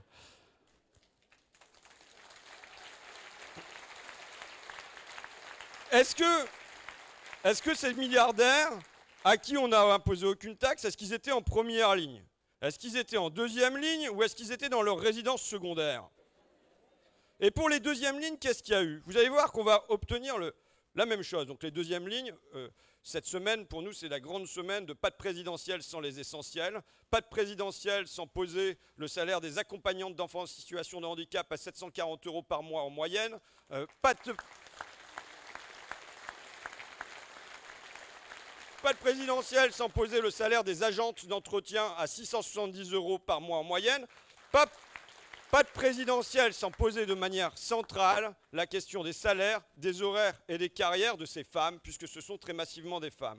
Un rapport leur a un peu à la fois les métiers du soin et euh, les métiers de, l'industrie dedans, euh, et on montre, la chercheuse montre que ces métiers sont sous le SMIC et sont sous le seuil de pauvreté pour la plupart. Quelle est la conclusion politique Ça, c'est le rapport académique, remarquable. Quelle est la conclusion politique qu'en tire Elisabeth Borne Nous faisons le pari avec confiance, toujours la même confiance, nous faisons le pari avec confiance que le dialogue social aboutira à quelque chose d'intéressant. C'est-à-dire, vous voyez là, l'absence de volonté. Je le dis, quand c'est sur nos vies, il n'y a pas de problème, ils sont pleins de volonté pour nous imposer des choses. Et là, quand il s'agit de l'économie, il suffit de laisser faire. À la limite, on peut quand même demander au MEDEF d'être sympa, quoi. On va faire une réunion pour ça. Et c'est évidemment toujours vrai aujourd'hui, dans la crise nouvelle qu'on traverse, qui fait que accroître les crises précédentes, à savoir sur les prix de l'énergie, sur les prix du B, qu'a dit Bruno Le Maire, on a déjà beaucoup fait pour les Français. Et peut-être qu'on aura le droit à nouveau à un chèque de 100 euros. Voilà le, pourquoi Parce qu'ils ne veulent pas diriger, ils ne veulent pas diriger l'économie. Évidemment, ça va contre les intérêts de ceux qui les financent. Maintenant, quel est le contrepoint? Qu'est-ce qu'on veut nous? Moi, je vais vous dire, mon modèle, ça va être Roosevelt. Le Roosevelt de la Deuxième Guerre mondiale. Le Roosevelt qui, en quatre ans, fait passer le budget militaire de 2% du budget américain à 42% le, Roosevelt qui dit que l'économie doit être dirigée, c'est-à-dire pas nationalisée, mais guidée. Le Roosevelt qui fixe des objectifs. Pour la première année 1942, 125 000 avions, 75 000 tanks, 35 000 canons antiaériens, parce qu'il est évident que s'il avait laissé faire le marché, le marché, il n'aurait pas produit de tanks, il n'aurait pas produit d'hydravions, il n'aurait pas produit de canons antiaériens. Quel rôle il fixe alors à l'État? Parce que je pense que notre cohérence, c'est de proposer une vision de l'État. L'État peut être un magnifique instrument, mais c'est un outil dont aujourd'hui il refuse de se servir pour ce qui nous est le plus essentiel. Il dit ceci, Roulvest. L'État fédéral en est l'organisateur. L'État en assure le financement au moyen de l'impôt et de l'emprunt. L'État oriente les productions vers les besoins prioritaires de l'armée. L'État contrôle l'affectation des matières premières et cependant, néanmoins, cet État ne se substitue pas à l'entreprise privée. Évidemment, la manière dont Roosevelt dirige l'économie américaine face à la guerre, je pense que c'est cette manière-là dont on doit diriger l'économie française face à la guerre climatique. Et que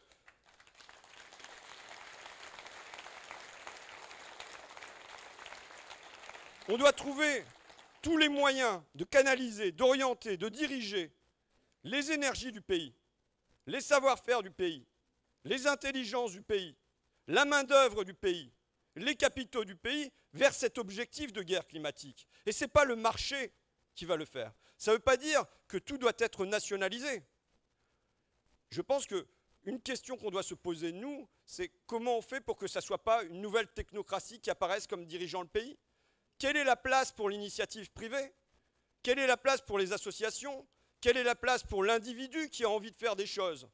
Mais qu'en revanche, ces entreprises, ces individus, ces associations qui veulent œuvrer, on les canalise, on les oriente, on les guide vers la transformation de l'agriculture, vers la transformation du bâtiment, vers la transformation des transports. Voilà notre cohérence, voilà notre doctrine.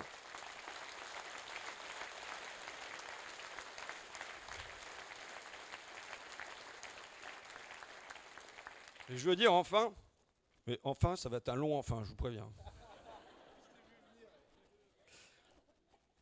Que ce, euh, non seulement là, j'ai pointé leur contradiction entre leur idéologie, héritée depuis 30 ans, 40 ans, et les nécessités du temps. Mais je pense qu'ils ont encore une autre contradiction qui est entre leur idéologie et l'esprit du temps et l'esprit des gens. Je me base là toujours sur une, citation qui est mon guide depuis euh, au moins une dizaine d'années, une citation d'Antonio Gramsci. Alors elle est un peu compliquée, mais après j'explicite. Pour ceux qui l'ont déjà entendu, ça permet d'assimiler. Hein. Bon. La crise moderne est liée à ce que l'on appelle crise d'autorité. Si la classe dominante a perdu le consentement, c'est-à-dire si elle n'est plus dirigeante mais seulement dominante et seulement détentrice d'une pure force de coercition, cela signifie précisément que les grandes masses se sont détachées des idéologies traditionnelles, qu'elles ne croient plus à ce en quoi elles croyaient auparavant. Voilà, à mon avis, le moment que nous vivons, le moment dans la durée. Nous vivons ce moment de détachement de l'idéologie dominante. C'est-à-dire que des mots comme croissance, concurrence, mondialisation, qui font leur fonds de commerce depuis les années 80, mais qui auparavant pouvaient le faire avec enthousiasme, avec envie, avec Bernard Tapie, avec Thatcher, avec Reagan, avec Alain Main qui est la mondialisation heureuse. Aujourd'hui, les gens, c'est par soumission, c'est par découragement, c'est par lassitude que peut-être ils vont accepter ça, mais absolument pas par envie et par enthousiasme. Nous vivons un temps de détachement de l'idéologie dominante. Moi, je le vois évidemment un marqueur fort, c'est le traité constitutionnel européen de 2005. Il faut se souvenir de nos victoires. 55% des Français qui répondent non, non à la concurrence libre et non faussée, non à la libre circulation des capitaux et des marchandises, y compris avec les TPI tiers. Et euh, vous savez, c'est une victoire parce qu'ils savent très bien qu'aujourd'hui, ils ne peuvent plus nous reproposer le même texte. S'ils nous redonnent la même chose, ça ne sera pas 55%, ça sera 60%, ça sera 70%, ça sera 75% des Français qui voteront contre ce texte-là. Ça veut dire quoi? Ça veut dire que leur projet, cette main invisible du marché et compagnie, ils le savent, ce projet-là est démocratiquement mort. Donc il faut qu'ils le poursuivent, il faut qu'ils le continuent, mais sans nous donner à voter sur l'essentiel qui est de voter là-dessus. Moi, je vois une distorsion entre le désir profond des gens et ce que propose le système. Je le vois sur des thèmes qui sont presque des thèmes souterrains. Alors il y a l'évidence de nos propositions sur l'impôt de solidarité sur la fortune, dont on voit qu'à chaque fois ça fait 80-90%. Mais quand on demande aux gens, euh, est-ce que vous voulez comme maison une maison high-tech ou bien est-ce que vous voulez un jardin? Mais à 65%, les gens répondent qu'ils veulent un jardin, qu'ils veulent la cocon familiale, et à 14%, il y a qu'ils veulent, une, veulent une maison connectée. Et pourtant, si on laisse faire le système, qu'est-ce qu'il va nous offrir? Il va nous offrir la maison connectée. Il va nous offrir le téléphone avec la 6G, connecté au frigo, et qui prévient Carrefour Market quand il n'y a plus d'olive à l'intérieur.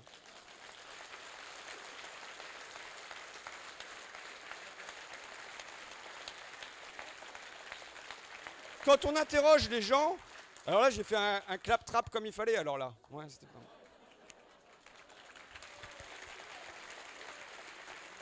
Non mais on, peut assimiler. Hein. Quand on interroge les gens sur leur rapport au temps, est-ce que vous voulez qu'on accélère ou qu'on ralentisse?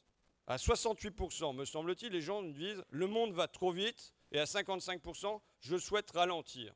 Et pourtant, quel est le maître mot de la Macronie? Moi, alors moi, je lis, non seulement j'écoute les discours de Macron, mais en plus je les lis. Après, je fais des contrôles F pour regarder dedans combien il y a d'occurrences. Donc, le maître mot de la Macronie, c'est accélération, accélération, accélération. Il faut tout accélérer, toujours.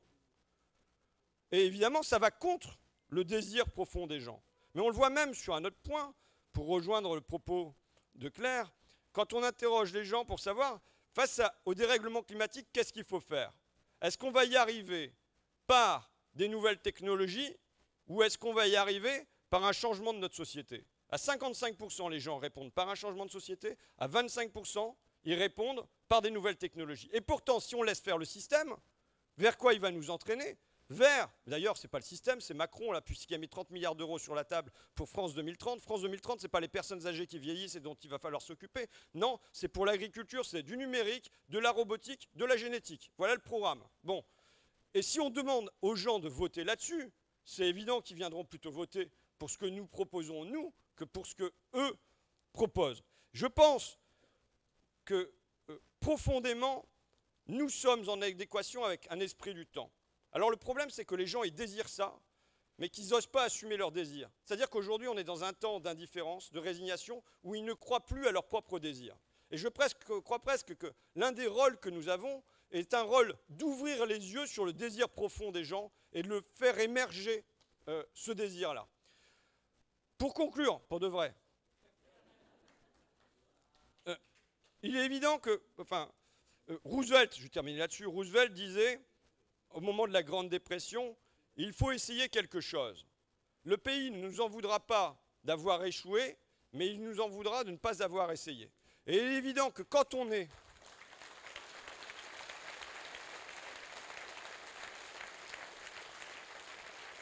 Quand on est ce qu'on est, qu'on était déjà il y a 10 ans, il y a 20 ans, nos convictions ne se sont pas forgées dans les trois derniers mois. Nous devons essayer. Nous devons essayer toujours. Nous devons essayer dans les urnes, nous devons essayer dans la rue, nous devons essayer avant les élections, nous devons essayer après les élections, nous devons essayer toujours, toujours, toujours, toujours, toujours. Nous devons être le repère qui fait que nous essayons, nous essayons, nous essayons. Voilà, je vous remercie. Et.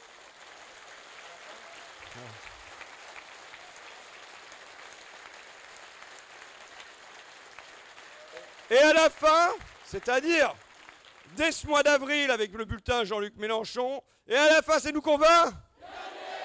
Et à la fin, c'est nous qu'on va? Merci à vous.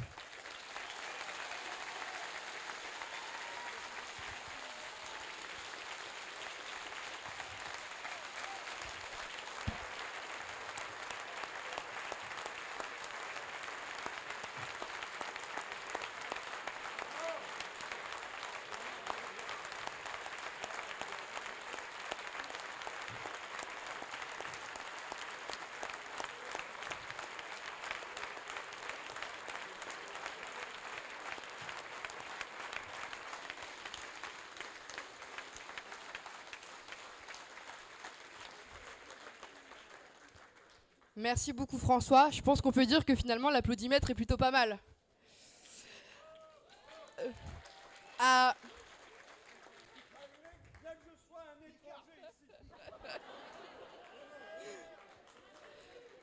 un mois de cette élection, qui peut changer le, le, quotidien de millions de Français, nous comptons malheureusement encore plus de 10 millions de pauvres dans ce pays. 4 millions de personnes non ou mal logées, dont 300 000 personnes privées de domicile fixe. Savez-vous qu'un Français sur dix a besoin en ce moment de l'aide alimentaire?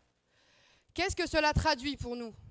Cela traduit que la question sociale, le droit à un emploi digne, à un logement digne, à une vie digne finalement, c'est la préoccupation, la première préoccupation des Français et rien d'autre. Et qui de mieux pour en parler qu'Adrien Quatennens?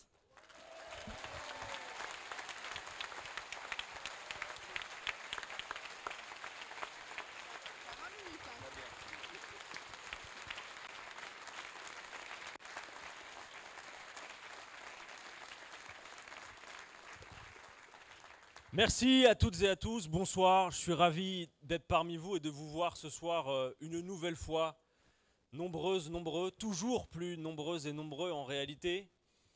Et je crois que ce soir, il faut évidemment placer notre rassemblement à la fois par nature et par nécessité, vu les circonstances, pour ce qu'il est. C'est aussi, oui, ce soir, par votre nombre, un rassemblement de soutien total au peuple ukrainien qui est actuellement sous les bombes, autant qu'un rassemblement de condamnation claire à l'action de Vladimir Poutine qui seul a choisi ce mode d'action particulier qui est la guerre et qui seul emporte la responsabilité.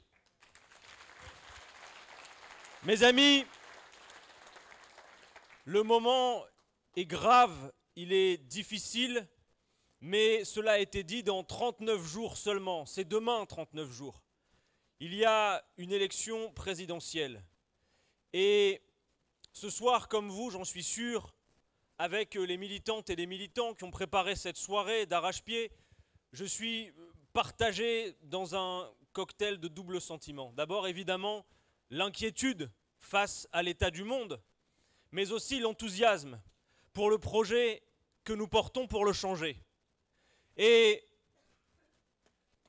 ces circonstances si dramatiques, si particulières, si tragiques soient-elles, ne peuvent d'aucune façon transformer l'élection présidentielle que nous avons dans 39 jours en une formalité administrative de reconduction sans condition du sortant. C'est pourquoi, pourquoi nous devons continuer à faire campagne, à présenter nos idées, notre projet, y compris sur ce que nous avons l'intention de faire sur la scène internationale. Car mes amis, vous le savez comme moi, le choix, la décision que prendront les Français dans quelques jours va impacter tous les sujets qui ont été abordés ce soir, tous sans exception. Et il aura échappé à personne que le chef de l'État est aussi le chef des armées. Donc parler de la situation que nous avons sous les yeux, c'est aussi parler de cette élection présidentielle. Oh bien sûr, le plus loin possible de toutes les polémiques, mais avec clarté. Et d'abord, dire comme nous l'avons fait, notre soutien au peuple ukrainien, notre condamnation pour ce choix particulier, détestable qu'a fait Vladimir Poutine, qui fait qu'une nouvelle fois en Europe, alors qu'on pouvait penser en être débarrassé, le règlement des conflits ne se fait pas par la politique et la discussion, mais par le bruit des armes et des bombes. Et quelles qu'aient été les circonstances, comme l'a dit Hugo, qui a amené Vladimir Poutine à penser comme il pense, on lui laisse cela, il n'a pas le droit d'agir comme il agit. Et comme Français, personne ne peut être d'accord avec les violations du droit international dont il s'agit. Le caractère intangible des frontières entre lesquelles s'exprime la souveraineté populaire est absolument non négociable, non discutable. C'est cela aussi que nous voulons rappeler par notre rassemblement ce soir ici à Lille. Alors maintenant, la question nous est souvent posée de que faire et évidemment qu'il faut accroître la pression sur Vladimir Poutine et d'abord parce que ce n'est pas au peuple de payer les conséquences de décisions d'un seul ou de sa petite bande. D'abord en sanctionnant les oligarques et toute la clique autour de Vladimir Poutine qui fait ce choix en saisissant, en réquisitionnant leurs biens, y compris ceux qu'ils ont en France. Il faut, eux, aller les taper au portefeuille. Eux, non pas le peuple. Le peuple, y compris les manifestants, qui, sous la répression, font ce qu'ils ont à faire. Il faut taper au portefeuille les oligarques russes. Nous avons besoin de rappeler des paroles de paix.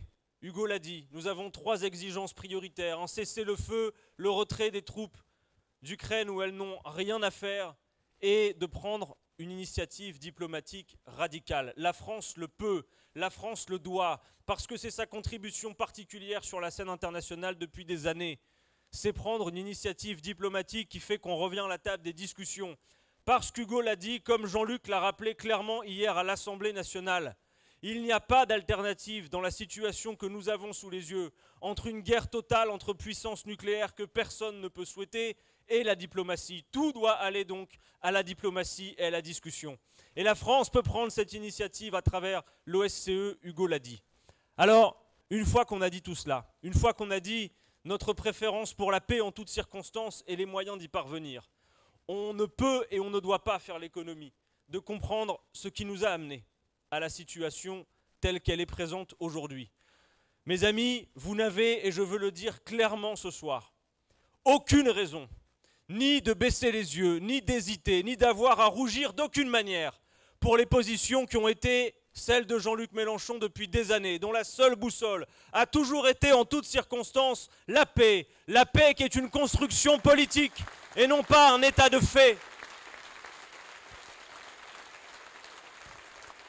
Cela fait dix années, dix ans que Jean-Luc Mélenchon dit sur tous les tons et prêche dans le désert, allant même jusqu'à proposer des débats sur les questions internationales et on lui répond c'est pas le sujet, il n'y a pas de discussion à avoir. Cela fait dix ans que Jean-Luc Mélenchon alerte en disant Depuis l'implosion du bloc soviétique, quoi que vous en pensiez, les questions des frontières sont régulièrement remises sur la table et sont régulièrement rediscutées. Il ne s'agit pas de dire que nous voulons nous-mêmes prendre le crayon pour redessiner la carte de l'Europe, mais de dire et de voir que ces discussions, que ces tensions existent. Et Jean-Luc Mélenchon ne dit rien d'autre depuis dix ans que de dire écoutez, ces discussions et ces tensions existent. Soit on en parle pacifiquement, tranquillement, en organisant les conditions de la discussion, ce qu'il propose depuis dix ans avec la conférence internationale pour les frontières, soit vous prenez le risque de voir s'envenimer ces tensions et peut-être de déborder des conflits comme celui que nous avons sous les yeux, qui en l'espèce est bien notamment autour de la question des frontières. Premier enjeu. Le deuxième enjeu, évidemment, et quoi qu'en pensent certains qui ne trouvent rien de mieux à faire dans la période, parce qu'il y a une élection présidentielle, que de s'abaisser à un niveau ras des pâquerettes. C'est la géopolitique pour les nuls sur les plateaux de télé.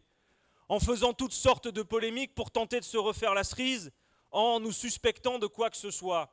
Oui, la question de l'extension toujours plus à l'est de l'OTAN, dans un monde qui se redessine, avec des États-Unis qui sont une puissance économique déclinante, qui ne tiennent plus sur la scène internationale que par le fait que, un, le dollar reste la principale monnaie de réserve et d'échange, deux, par cette surpuissance surjouée militaire qui fait que dans l'OTAN, 1031 milliards de dépenses militaires, 700 qui sont le seul fait des Américains. Et oui, cette extension toujours à l'Est, quoi qu'on pense de la psychologie de Vladimir Poutine et de son régime avec lequel j'y viendrai ensuite, nous ne pouvons d'aucune manière être confondus, quoi qu'on en pense de son point de vue. Ça a été vécu comme une menace et il fallait pouvoir négocier, y répondre et apporter, des garanties. Et ce que nous voulons faire avec la solution diplomatique, c'est en effet apporter de part et d'autre les garanties de sécurité que les uns et les autres exigent, parce qu'en toute hypothèse, en toute circonstance, je l'ai dit, la boussole doit être la paix. Alors,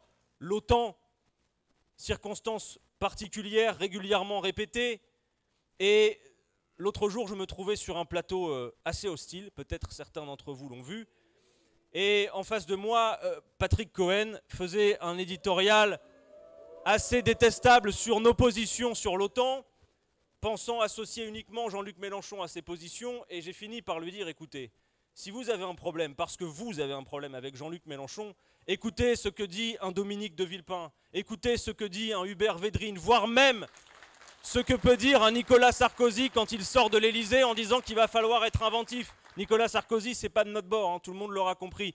Et il se trouve qu'à mes côtés, il y avait un général. Et le général, bah, il se trouve qu'il a déjà parlé de l'OTAN par le passé, et franchement, des fois, Mélenchon à côté, c'est timide. Le général en question, il dit l'alliance est un leurre, elle affaiblit les Français car elle ne leur permet pas de parler au monde et de défendre leurs valeurs. Il faut sortir de l'illusion que les outils d'hier sont toujours pertinents pour le monde de demain. Il dit même plus que ça. Il dit l'OTAN est devenue une menace pour la paix pour les pays européens, pardon, d'abord parce qu'elle est un outil de déresponsabilisation des États. Il va même jusqu'à dire que son existence même est un outil de maintien et de renaissance des tensions en Europe. Mes amis, en disant ça, il ne s'agit pas de mettre un signe égal entre le choix de Vladimir Poutine de faire la guerre et l'extension de l'OTAN, mais de se dire simplement que comprendre les circonstances, ça ne veut pas dire excuser, ni d'aucune façon amnistier les choix qui ont été faits. Mais on a besoin de comprendre les choses pour pouvoir tenir un discours clair.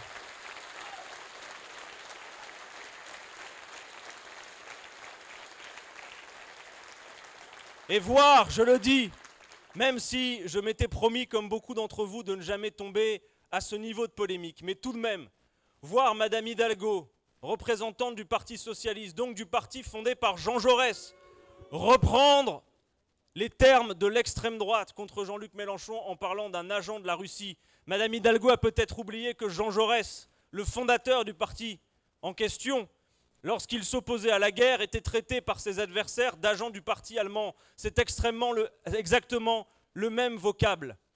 Et pro-Poutine n'est pas dans nos moyens. Mes amis, nous sommes des écologistes, des anticapitalistes. Comment pourrions-nous être confondus avec le régime de Vladimir Poutine? L'extrême droite française, oui, elle a des incointances de vue idéologique avec M. Poutine. Et vous avez vu vous avez vu Éric Zemmour Éric Zemmour, lui, non seulement il ne veut pas accueillir les réfugiés, il ne veut pas accueillir les réfugiés d'une part, mais en plus, il nous propose un Poutine à la française. Voilà ce qu'il veut, Éric Zemmour.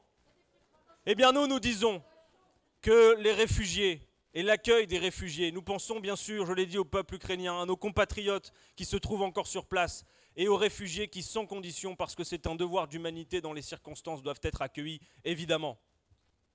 Alors,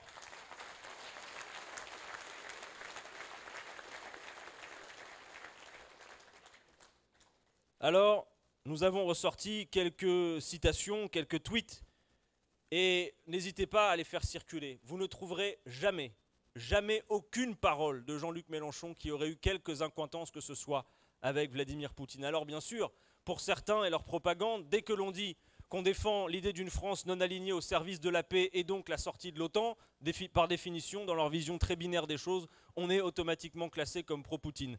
Alors, Jean-Luc Mélenchon, août 2012, Poutine est une graine de dictateur. Mars 2015, je ne suis pas pour Poutine, je suis contre la guerre.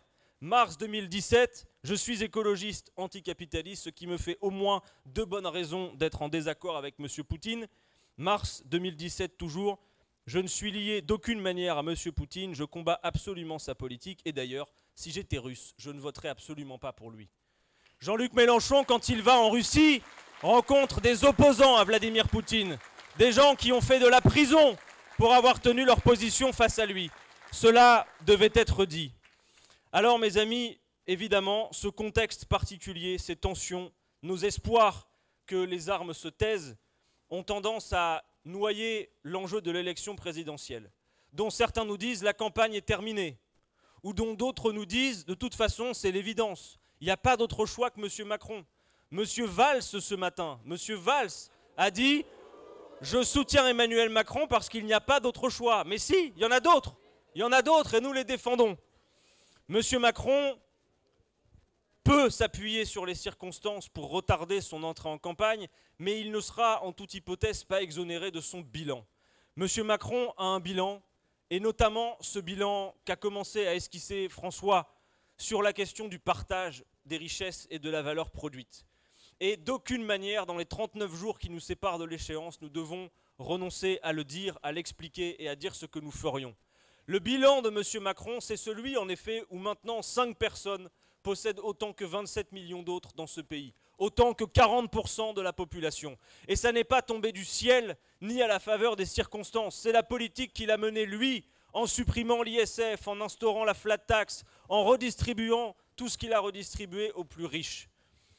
Dans la période de pandémie, c'est 240 milliards d'accumulation en plus pour les milliardaires. Tiens donc, 240 milliards, c'est peu ou prou exactement le chiffre des aides que l'État a fourni pendant la période Covid. Ah, on nous parle souvent du déficit de l'État et du fait qu'il faut se serrer la ceinture.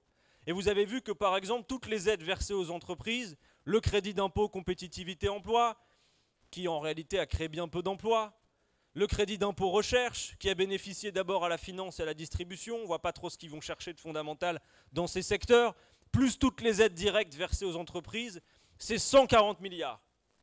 Eh bien, 140 milliards, c'est aussi le montant du déficit de l'État dont on nous rabat les oreilles à longueur de journée pour venir vous demander à vous des efforts supplémentaires.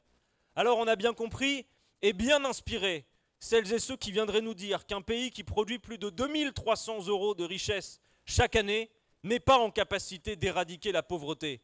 Parce que la France d'Emmanuel Macron, ça n'est pas seulement la France d'un accroissement de richesse de façon considérable entre les mêmes mains, c'est aussi la France d'une extension de la pauvreté que nous ne pouvons pas tolérer. Derrière les chiffres qui ont été cités par Elodie, 10 millions de personnes sous le seuil de pauvreté, 8 millions à l'aide alimentaire, 12 millions qui subissent les conséquences de la précarité énergétique. Derrière ces chiffres, derrière ces statistiques, il y a des réalités sociales désastreuses que, j'en suis sûr, beaucoup d'entre vous connaissent ou connaissent des proches qui les subissent de plein fouet quand on a peur d'ouvrir sa boîte aux lettres pour savoir si on va pouvoir honorer les factures qui s'y trouvent. Dans une période, les amis, où en plus l'inflation ne cesse de progresser, on nous annonce encore des records dans la zone euro, 5,8%, et ça va continuer. Eh bien nous, nous fixons un cap clair, et c'est ce que nous ferons dès le mois d'avril si nous sommes en situation de le faire. Un grand pays comme la France, oui, peut se donner les moyens, tout simplement, d'éradiquer la pauvreté. Voilà ce que nous voulons faire dès le mois d'avril.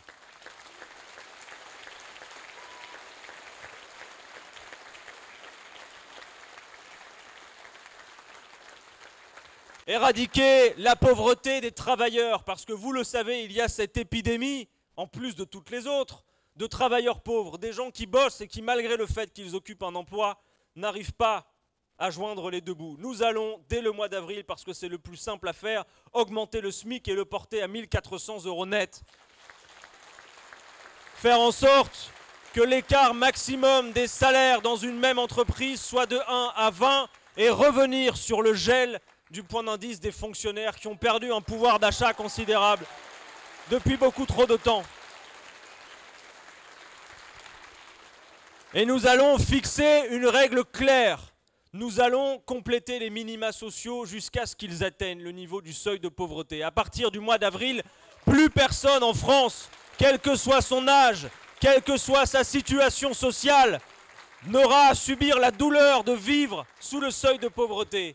Et nous allons, vous le savez, étendre la gratuité d'un certain nombre de biens indispensables et essentiels. On a parlé des cinq fruits et légumes, on a parlé de la crise de l'eau. Oui, nous voulons que les premiers mètres cubes d'eau nécessaires à la vie soient gratuits pour toutes et tous. Et financés par une tarification progressive qui ferait que, par exemple, l'eau qui sert à laver sa voiture, à remplir une piscine, coûte plus cher pour financer la gratuité pour tous.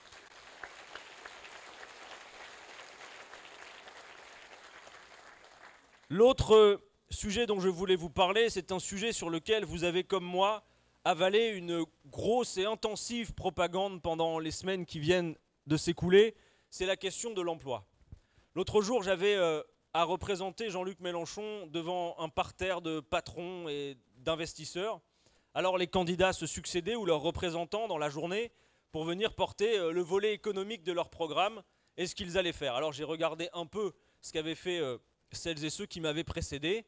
Et évidemment, ils étaient venus dire à ces braves gens ce qu'ils avaient envie d'entendre. Et on pouvait noter la convergence très forte, en effet, comme l'a dit François, entre le discours de Madame Pécresse, qui était venue le matin, le discours de Monsieur le maire, venu le midi, et le discours de Monsieur Zemmour, qui passait juste avant moi. En gros, c'était euh, qu'est-ce que vous demandez? Comme à chaque présidentielle, le grand patronat de ce pays, le grand, hein, je ne confonds pas avec les petits artisans et commerçants TPE, PME, mais le grand patronat, il sort toujours ça sébile au moment des élections pour dire s'il vous plaît, baissez-nous les impôts de production, il y en a trop. Ils oublient toujours de dire, ils se plaignent beaucoup des impôts, mais ils oublient toujours de dire que la France est en tête du peloton des pays qui dépensent le plus d'argent public pour aider les entreprises, pour qu'elles s'installent, pour financer les services publics. Ça, ils oublient tout le temps de le dire. Alors moi, je leur ai dit, je leur ai dit, eh bien non, je ne suis pas venu vous dire pardon, qu'on allait vous baisser les impôts de ceci, les impôts de cela, la TVA, vous aider à ceci ou cela. Par contre, on va vous offrir une chose que les autres ne sont pas capables de vous offrir. Avec nous, c'est sûr, la foire aux dividendes qu'on a connue là, c'est terminé.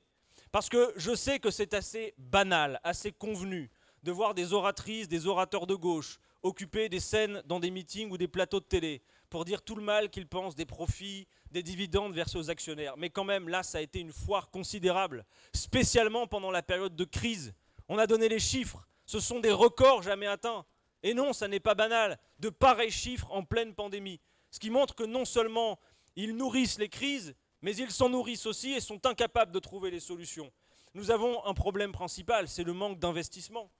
Quand on parle de compétitivité, ils nous parlent toujours de cela, réduire les coûts pour la compétitivité. Parce qu'évidemment, la compétitivité dans leur bouche, ça ne veut pas dire innover pour demain, faire les meilleurs investissements pour euh, avoir les produits les plus écologiques, penser à l'avenir et à l'intérêt général. Non, compétitivité dans leur bouche, ça veut juste dire moins cher. Et donc tout est bon pour produire moins cher. Je leur ai dit non, nous, ce sera différent. On va gouverner par les besoins. Par contre, avec notamment la planification écologique, on va savoir vous dire quels sont les secteurs dans lesquels, par ailleurs, on a besoin de vous. Parce que ce défi, s'impose à nous, quoi qu'on en pense.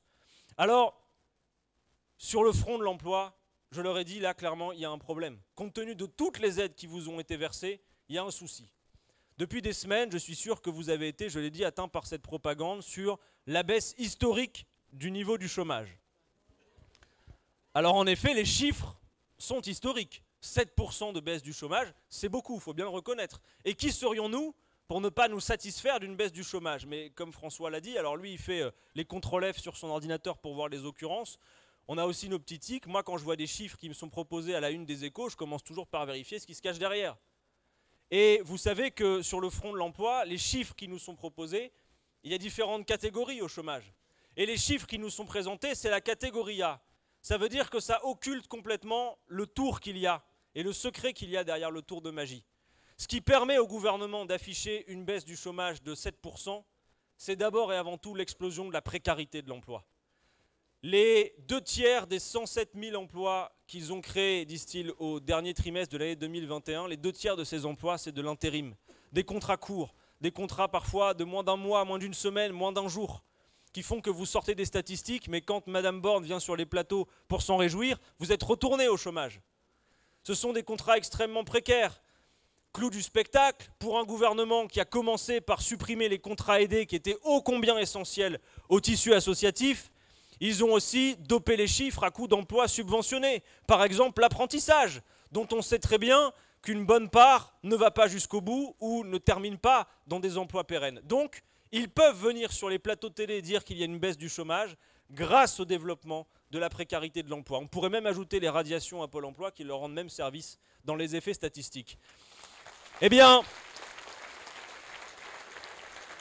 nous, ce que nous voulons faire, c'est créer de l'emploi pérenne, de l'emploi durable. Et on ne peut pas créer de l'emploi pérenne et durable avec la politique de M. Macron qui a consisté en cinq années d'abord à affaiblir les droits des travailleurs avec les ordonnances travail pour la flexibilité et à faire cette ignoble réforme de l'assurance chômage qui fait que alors qu'un chômeur sur deux n'est déjà pas indemnisé, ils ont rendu les conditions d'accès à l'indemnité encore plus difficiles et fait en sorte que les indemnités fondent comme neige au soleil. Nous devons rappeler que le chômage n'est pas la charité. Les gens, les travailleurs cotisent pour se payer des droits.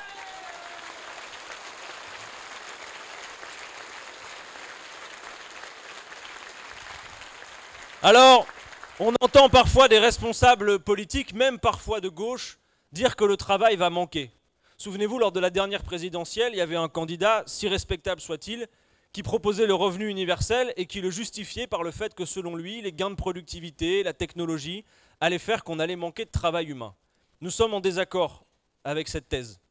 Parce que d'abord, nous, ne voulons pas offrir un revenu universel qui consisterait aussi à le verser à M. Bernard Arnault et à toutes celles et ceux qui n'en ont pas besoin.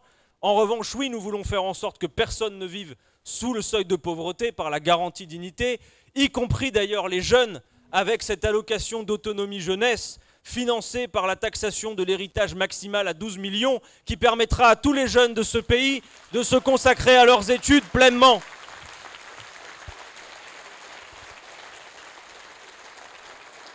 Mais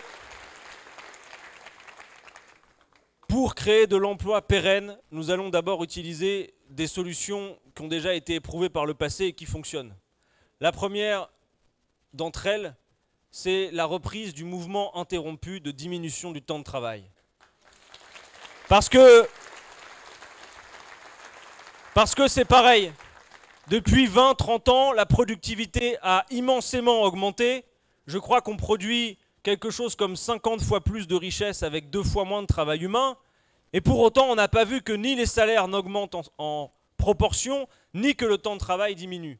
Et là, vous êtes obligé de réfléchir et de vous dire, mais attendez, si on produit plus avec moins de travail humain, comment se fait-il que le surplus de richesse que l'on produit ne nous soit pas redistribué, soit par une augmentation des salaires, soit par la diminution du temps de travail? Nous l'avons dit, le temps du capital a duré, avec nous ce sera le temps du travail. Et ce programme va créer beaucoup d'activités et d'emplois. Alors oui, nous allons partager le temps de travail, appliquer réellement les 35 heures, aller vers les 32, une sixième semaine de congés payés parce que ça fait depuis les années 80 qu'il n'y en a pas une de plus. Et bien sûr, la retraite à 60 ans que souhaitent 71% des Français.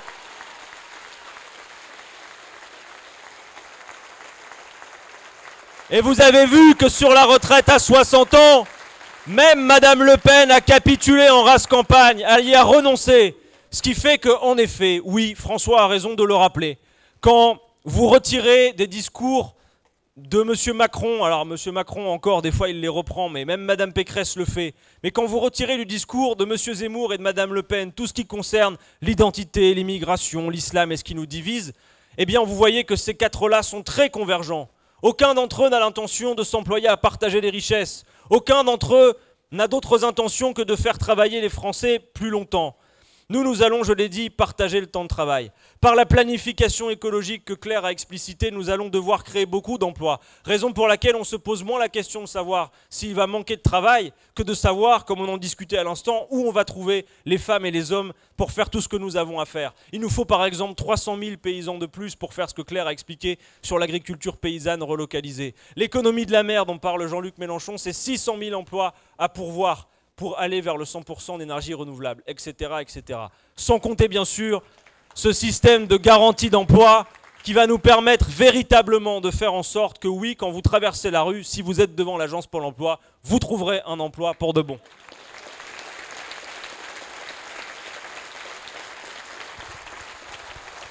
Mes amis, je vais moi aussi à mon tour vers ma conclusion en vous disant que ces 39 jours compte plus que triple par rapport à tout ce qui a été fait jusqu'alors. Nous sommes en campagne depuis le mois de novembre 2020 et je veux saluer toutes celles et ceux qui, depuis novembre 2020, ont déjà pris part à la bataille. Nous avons déployé des outils formidables qui font que désormais, à travers notamment l'application Action Populaire, ce sont quelques 2000 actions qui sont déclarées sur la plateforme chaque semaine qui témoignent d'une activité militante absolument intense une culture du porte-à-porte qui est exceptionnelle pour aller voir ces femmes et ces hommes éloignés de la vie politique.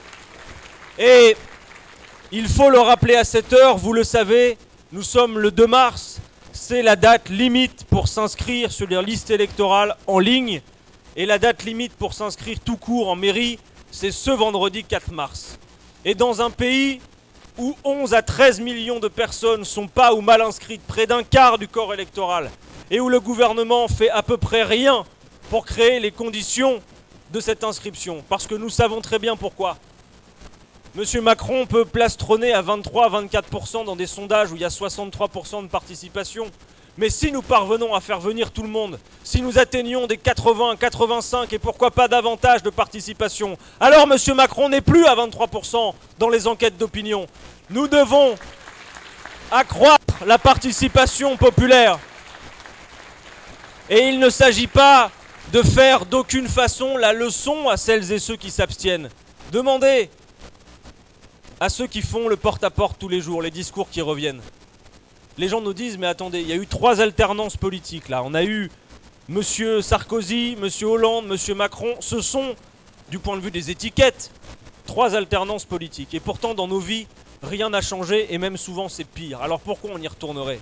Vous avez des gens qui nous disent moi, votre programme, dans l'ensemble, ça me va. Mais je veux savoir d'abord ce que ça va changer concrètement dans mon frigidaire, dans mon appartement, dans ce que je peux offrir à mes gamins comme loisir, et vous avez surtout des gens qui disent Eh bien, tout ce que vous me racontez, je trouve ça formidable. Mais d'autres que vous avant nous l'ont raconté aussi et ne l'ont pas fait, se sont couchés. Et là, vous devez aller à fond sur les propositions que nous portons autour de la Sixième République et du renforcement de la démocratie. Mes amis, le droit de révoquer les élus, plus que d'être un moyen de dégager les élus, c'est de les rappeler à leurs obligations, de rappeler qu'un mandat n'est pas un blanc-seing, et qu'à tout moment le peuple doit pouvoir reprendre la main. Voilà ce que nous avons à faire. Alors ensuite, bien sûr, il y aura toujours celles et ceux qui vous diront voter ne sert à rien. Et à cela, vous pouvez dire ok, voter ne sert à rien, alors pourquoi les autres ils y vont? Pourquoi les électeurs de M. Macron, eux, ils ont déjà mis le réveil matin pour y aller le 10 avril? Parce que ceux-là, ils vont y aller. Et ils savent pourquoi ils y vont. Et ils ne disent pas que voter sert à rien. Ils y vont pour en reprendre pour 50 plus de tout ce qui a déjà été fait. Et nous savons très bien ce que Macron a l'intention de faire. La feuille de route a été remise à la Commission européenne. Vous savez ce que vous allez manger si on considère simplement que celui qui est à cette heure le chef des armées, donc le chef de guerre, doit être reconduit de façon administrative. Derrière le rôle qu'il joue à cet instant se cache l'homme qui a l'intention de vous faire travailler plus longtemps en faisant la réforme des retraites que nous avons contribué à mettre au placard vous avez la personne qui a présenté à la Commission européenne l'objectif d'en revenir à des objectifs austéritaires avec la règle de 3% de déficit, etc.. Donc, ça ne peut pas être une reconduction administrative. Et on ne peut pas dire que ça sert à rien. Si eux y vont, eh bien nous, nous devons faire en sorte que tous les nôtres y soient sans hésiter. Parce que l'issue ne dépend que de cela, de votre participation, de vos bulletins de vote.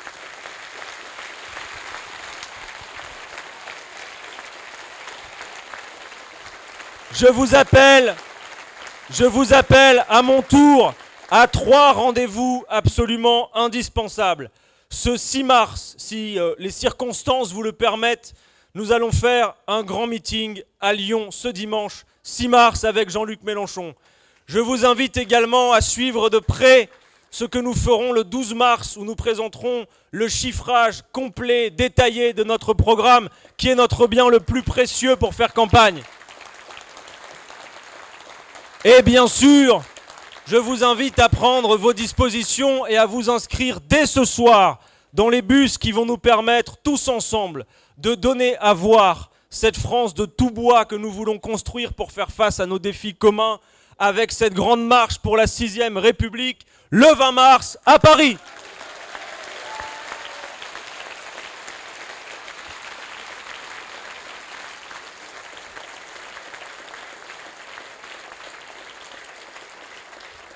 Mes amis, pour conclure définitivement, et parce que nos habitudes nous font souvent citer les grandes femmes et les grands hommes qui ont marqué notre histoire collective, en ces circonstances particulières ce soir, évidemment, je voulais citer celui dans lequel Jean-Luc Mélenchon a inscrit ses pas hier à l'Assemblée nationale. Je veux citer devant vous ce soir le grand Jaurès. Le grand Jaurès qui, dans l'un des derniers, sinon le dernier éditorial qu'il donnait au journal L'Humanité, peu avant le déclenchement de la guerre et peu avant son assassinat, écrivait dans les colonnes de L'Humanité ceci. C'est à l'intelligence du peuple, c'est à sa pensée que nous devons faire aujourd'hui appel. Si nous voulons qu'il puisse rester maître de soi, refouler les paniques, dominer les énervements et surveiller la marche des hommes et des choses pour écarter la race humaine de l'horreur de la guerre. Le péril est grand, mais il n'est pas invincible si nous gardons la clarté de l'esprit, la fermeté du vouloir. Si nous, savons avoir à la fois l'héroïsme de la patience et l'héroïsme de l'action, la vue nette du devoir nous donnera la force de le remplir. Ce qui importe avant tout, c'est la continuité de l'action. C'est le perpétuel éveil de la pensée et de la conscience ouvrière. Là est la vraie sauvegarde, Là est la garantie de l'avenir. Mes amis, oui, un autre monde est possible. Il ne dépend que des bulletins de vote des femmes et des hommes de ce pays. Allons les chercher.